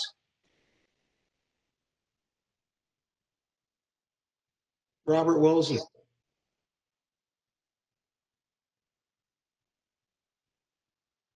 Yung Ho, I'll, Um, I'll, no, I'm not seeing anything in there right now.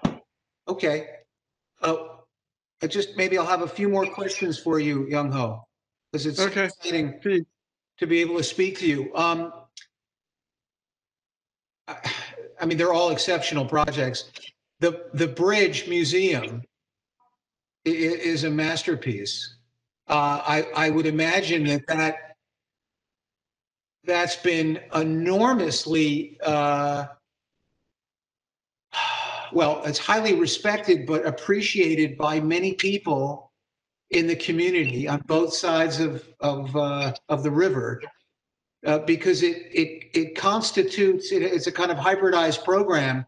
It's, it's, it's both a kind of standard, uh, pass through to move from one part of the city to the next, but it's, it's also a, a destination and one that is specifically offering culture and art to the community. I mean, it, there's something beautifully uh, innovative about it as a new type, as a new program.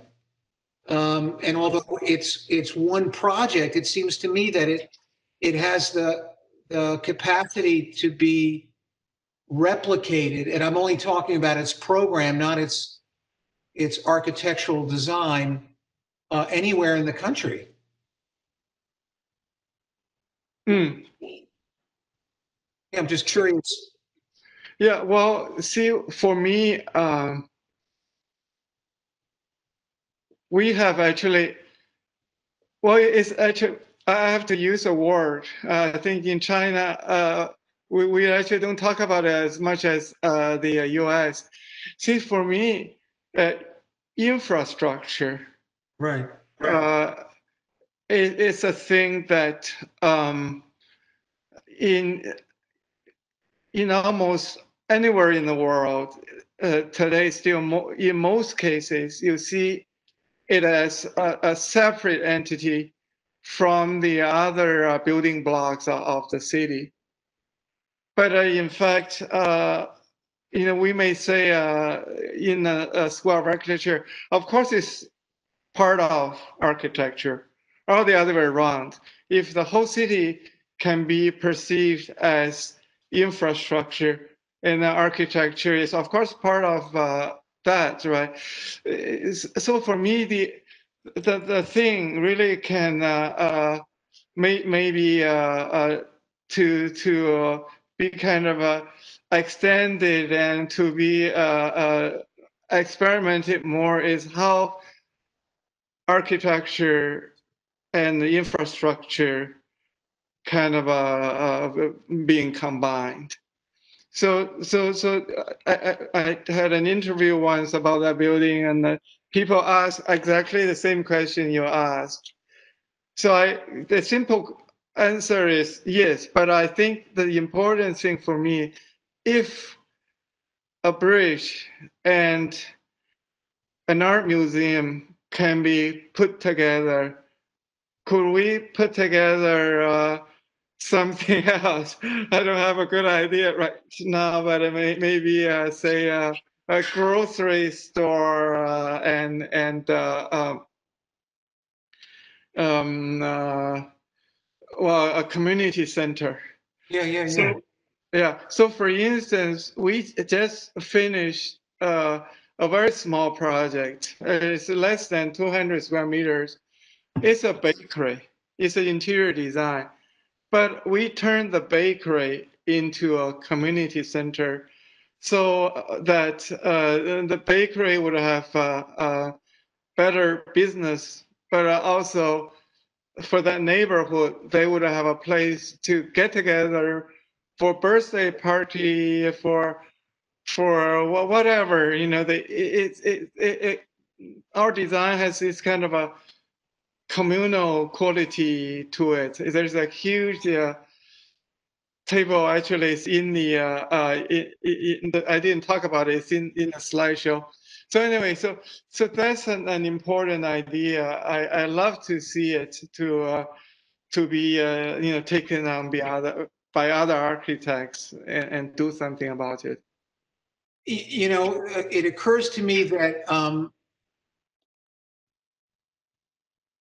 that the, that the work operates obviously on a, on a variety of levels simultaneously, but there are ideas or rules or regulations or even codes, codes of thought that operate uh, at a kind of meta level. And then when you're given a, a, a real commission, those get uh, charged with, you know, the, language of architecture and the your your love and appreciation for construction and craft and materials and and they become physical embodiments of these conceptual aspirations. In in many parts of the world, uh, and you probably know this more than I do, there are city city architects, or there there is an architect or group of architects that that are charged with with writing the rules and regulations for the city.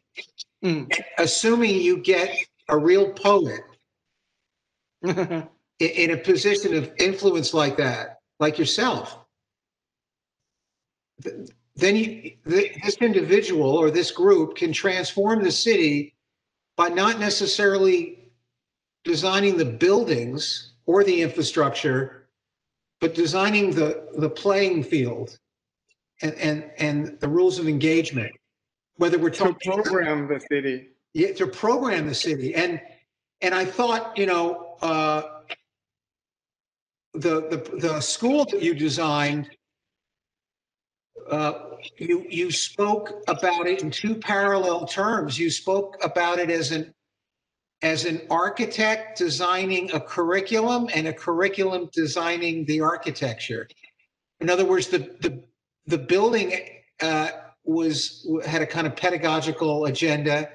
And then inside the building there there really was a foundation course where everyone had to make something with their hands.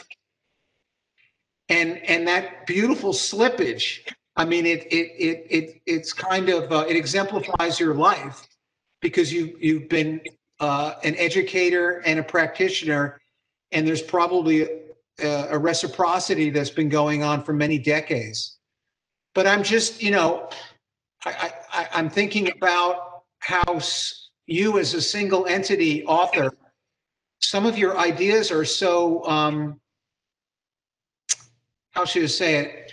They're so ambitious insofar as they could take on the scale of entire cities. And it doesn't mean that you're, you're interested in the authorship of those buildings. You're interested in the behavior of how cities are conceived in order to activate or fulfill their full potential. And maybe I'm uh, wishing a future for you. Oh, thank you, thank you. Uh, I, I think a real city would would be a, a, a challenge. However, again, hard.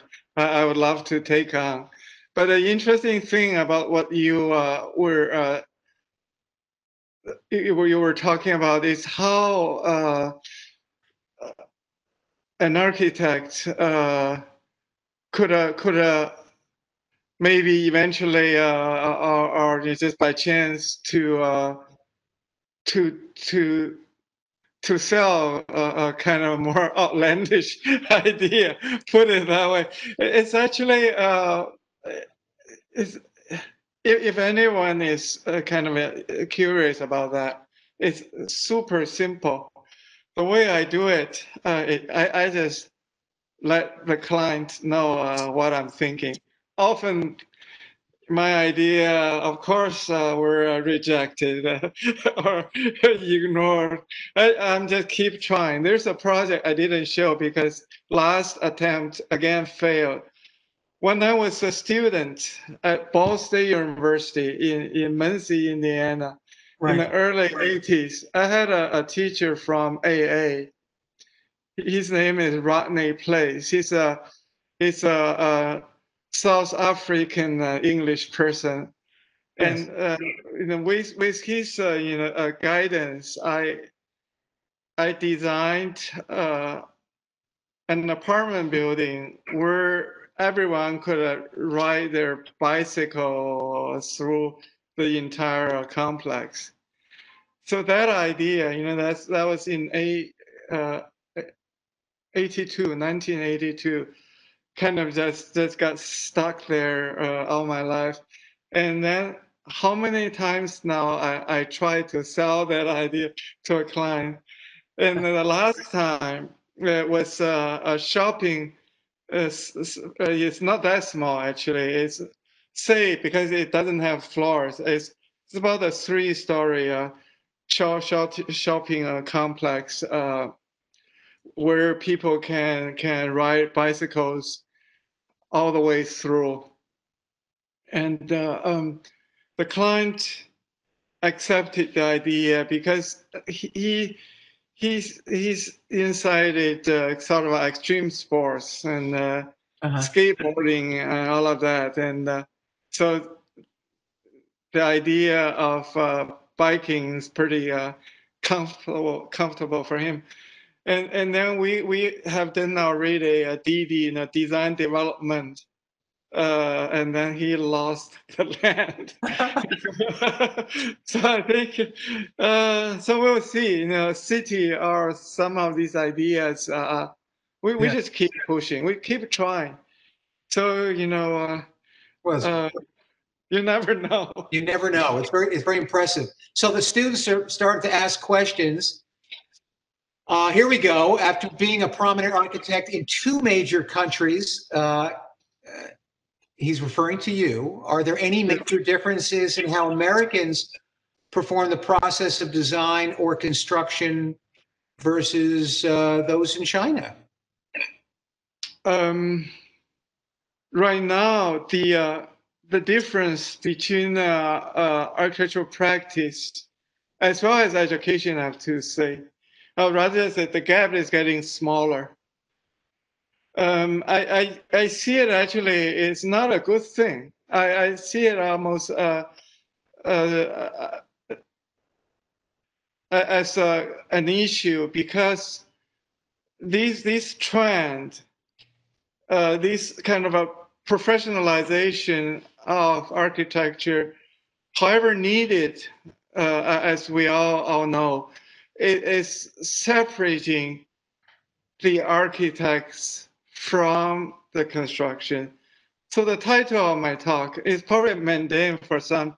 Building is actually it's a carefully chosen word. Uh-huh.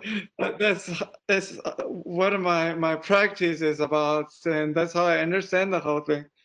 Um, so uh, now we have we have codes some of the codes are pretty much uh, based on the American codes. And uh, we have the, the, licensing system.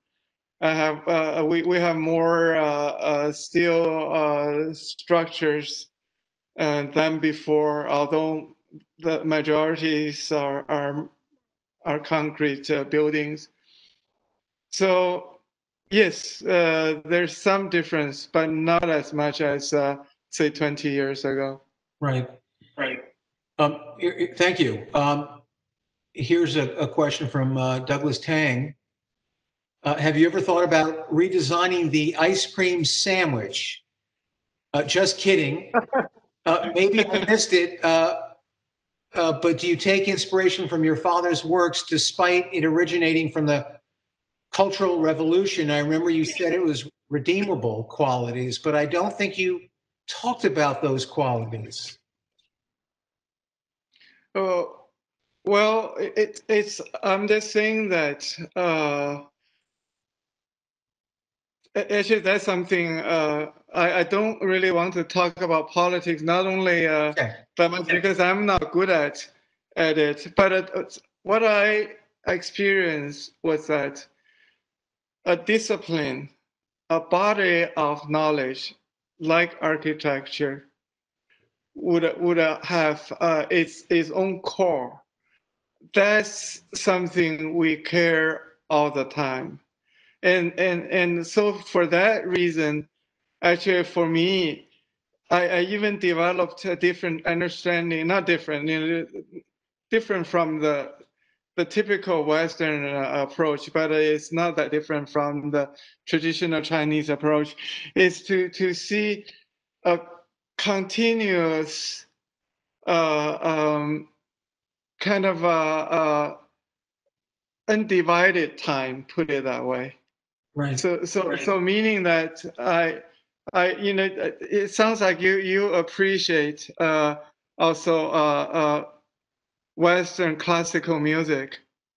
I Yes, assume. of Uh. I do.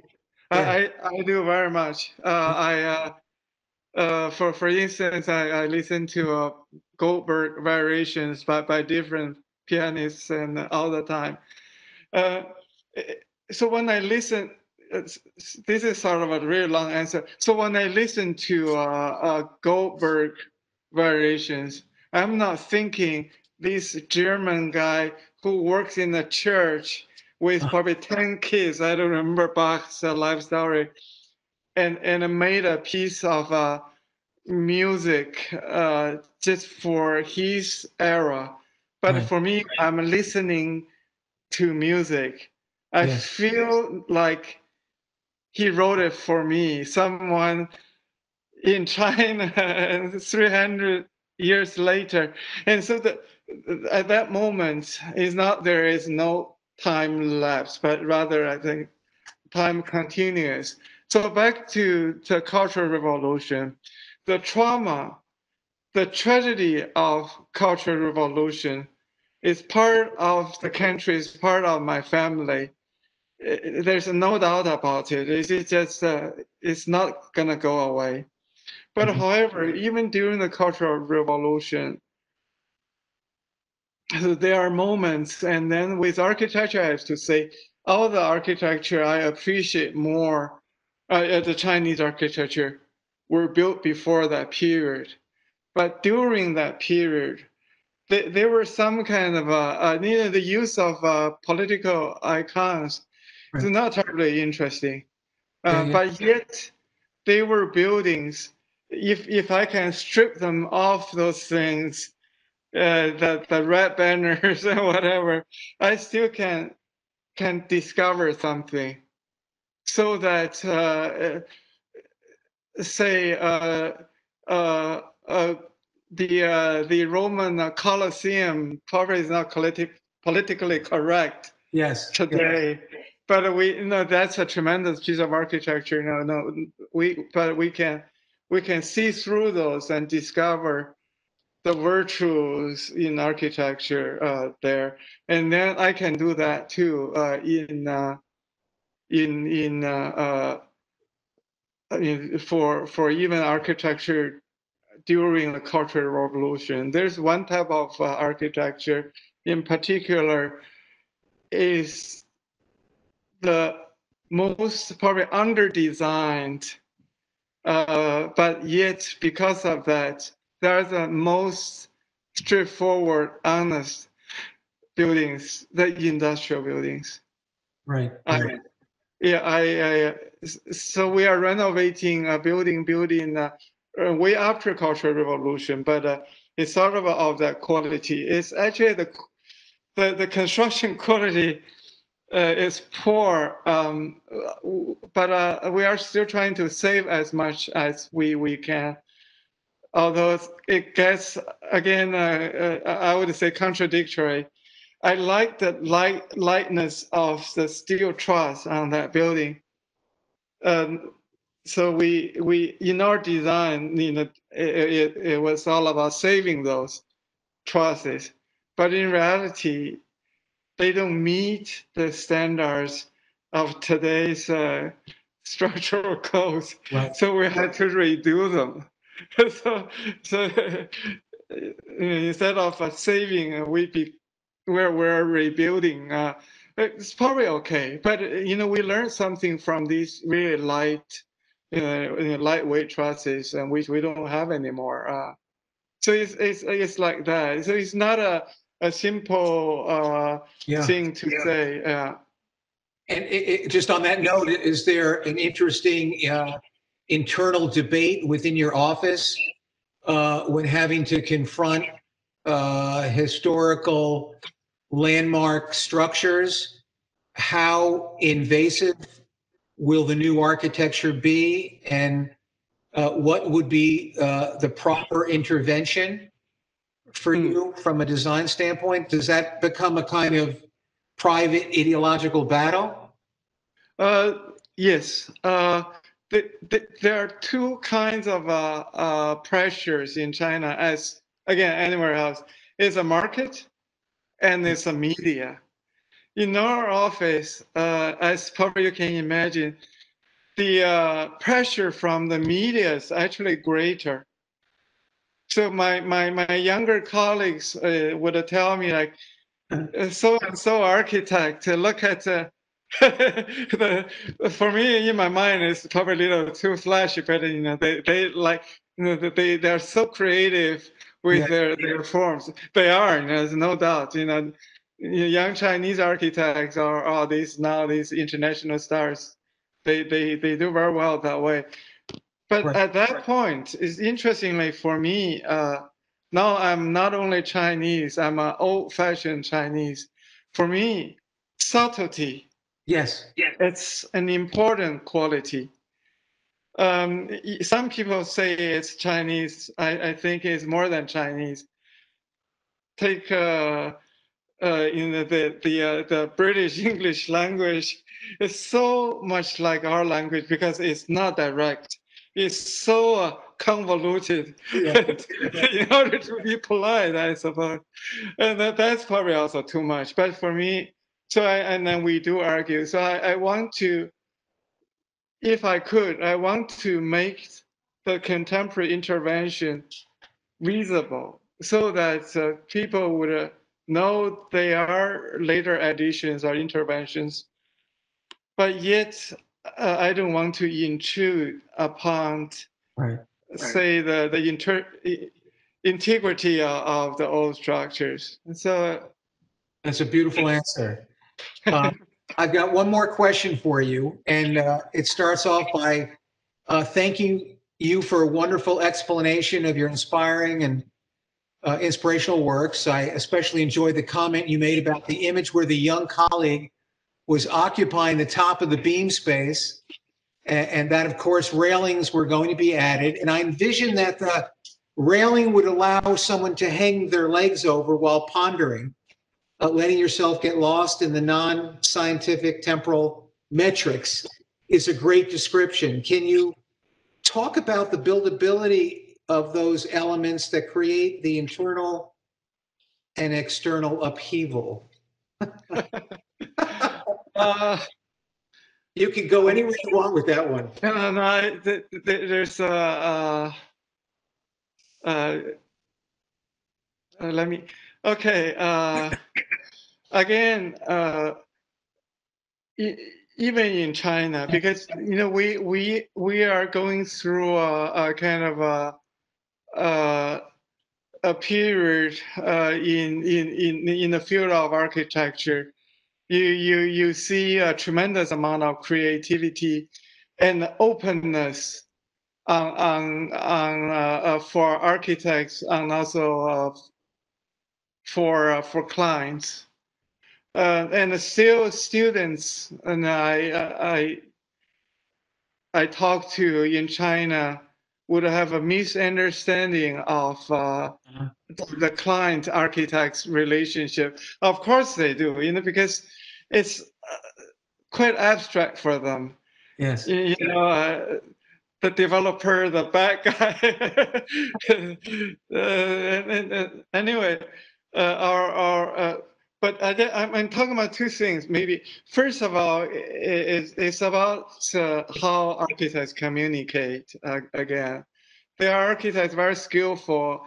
Even at MIT, I thought I I well, I, I maybe should uh, do a course simply called uh, "How to Meet," to how to do meetings Yeah. you bring your agenda, whoever the client, uh, the, the government, uh, bring theirs and the, the contractor, and then you negotiate, right? And, but, but something very important, I, I said earlier uh, in a different way, is that an architect, whoever actually, need to believe in, in, in your own ideas and then also have a bit of a belief in humanity, meaning that if it's an idea that uh, moves you and you truly think it's going to do some good, you may be able to to uh, make it happen.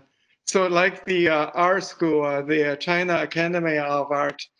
So I, I, I gave a very lengthy uh, presentation of the, the, the educational system and the campus design. And so in the end, the president started uh, by saying that, so you're not here to present a project. You're here to preach. He, he thought I was a priest. Wow. And then he said, well, you know what? Uh, I bought your idea. so, uh, so I, yeah, it's like that. You never know. And uh, so I don't see uh, um, a stereotypical uh, user or uh, a, a client for architecture. Right. And then so every single time, that's why we try.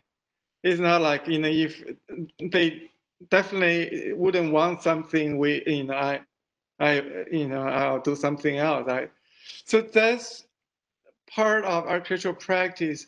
Often that, uh, at least it's sort of it's not invisible, but you you don't hear much about it. You hear the negative story of uh, you are not allowed to do so, uh, so and so, you know what what kind of stuff, and so on. However, for uh, for uh, the other thing is, however, sometimes our, our uh, designs seem to be uh, to be probably radical in, in certain ways. Uh, but uh, for us, we understand architecture i- i- i- as invitation. Yeah. So you invite them to go outside. You invite them to maybe uh, go up to the beam. Uh, today is it's very interesting is that uh, we uh, have not only uh, the traditional media, we have social media. I'm gonna tell you about something also we experienced very recently together. Social media changes the way we think about architecture. So for a project I, I didn't show, um, we built this group of new building uh, for uh, a, a fashion company. They really liked it, so Mhm. they asked us to renovate their old buildings. Again, those old buildings, they, they are sort of uh, just typical, uh, rather boring buildings. Yet I still don't think I have a good idea to to really uh, touch them. So I, I decided to leave those buildings alone. but to make a corridor to connect actually four bar buildings. This corridor was later designed in such a way that uh, that was the uh, the the uh, the piece of architecture with some quality. It's a very long and narrow building. It's an independent building building connected to the four bars, but it, it has three stories uh, inside. Uh, it's made of uh, metal. Yeah. And then guess what? The the uh, the client, their reaction was that that's the building people would come to visit Uh-huh. and take selfies. They didn't understand. They didn't quite care about logic of making connections. Uh, you know they're okay with that. Yeah. They see it even more so from the angle of social media. I don't know some of the terms in English, and but in Chinese, we say this is gonna be uh, basically an internet star. You know, this kind of expression. They kind of see it that way, Yeah. and then you know we were delighted to to accept that, although we didn't really think about it. So so this kind of interaction between us and the the, the lay people, basically architects and lay people, is something uh, uh, very uh, important and constructive. So upheaval or not, maybe there will be uh, for some of the projects, but also there's some really uh, interesting surprises and uh, in store also for the architects, you know, good ones. Yeah. Yung Ho, I'm sure you had, you experienced this as a administrative leader. You, you have to uh, get the students to put their laptops down and, and uh, either go to the lecture pre-pandemic or uh, go online and, and stop what they're doing and listen um, to a, a guest speaker, uh, a visitor that's been invited into the school uh, to share their unique insights. And I have to say, you know, um, you taught a master class tonight Thank you. to, to our school. Uh, we, we could we could have unpacked this and and and spent many more hours uh, trying to open up each of the gifts that you gave us and explain in greater detail to, to the student body who were just being initiated into this kind of beautiful discipline uh, how serious and genuine and thoughtful and timely and and poetically charged your work is. And, and you you use the word uh, humanism at one point.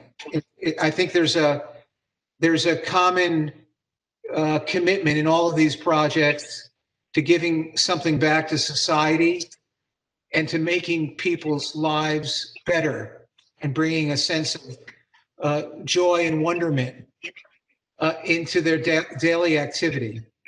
And and you're accomplishing that. And it's a it's a noble endeavor. And i congratulate you on behalf of our school. And for that matter on behalf of the discipline. So uh, thank you for taking time. I know you had to get up early in the morning for this but uh, it was exceptional and i and we appreciate it Thank you. Thank you very much, uh, Evan. Nice to see you. absolutely and and and, and we hope to have you here in person one day Yes, I, I would love to do that, to go visit you in uh, Rensselaer. and and all, and all the best with your your your current projects and be safe Yeah, thank you. You too. okay, Okay. Bye bye. Good night for you. I'm going to get my breakfast now. And a, and a and a good cup of coffee yes, I will. thanks I will. I Thank you. appreciate it Okay, bye bye. bye-bye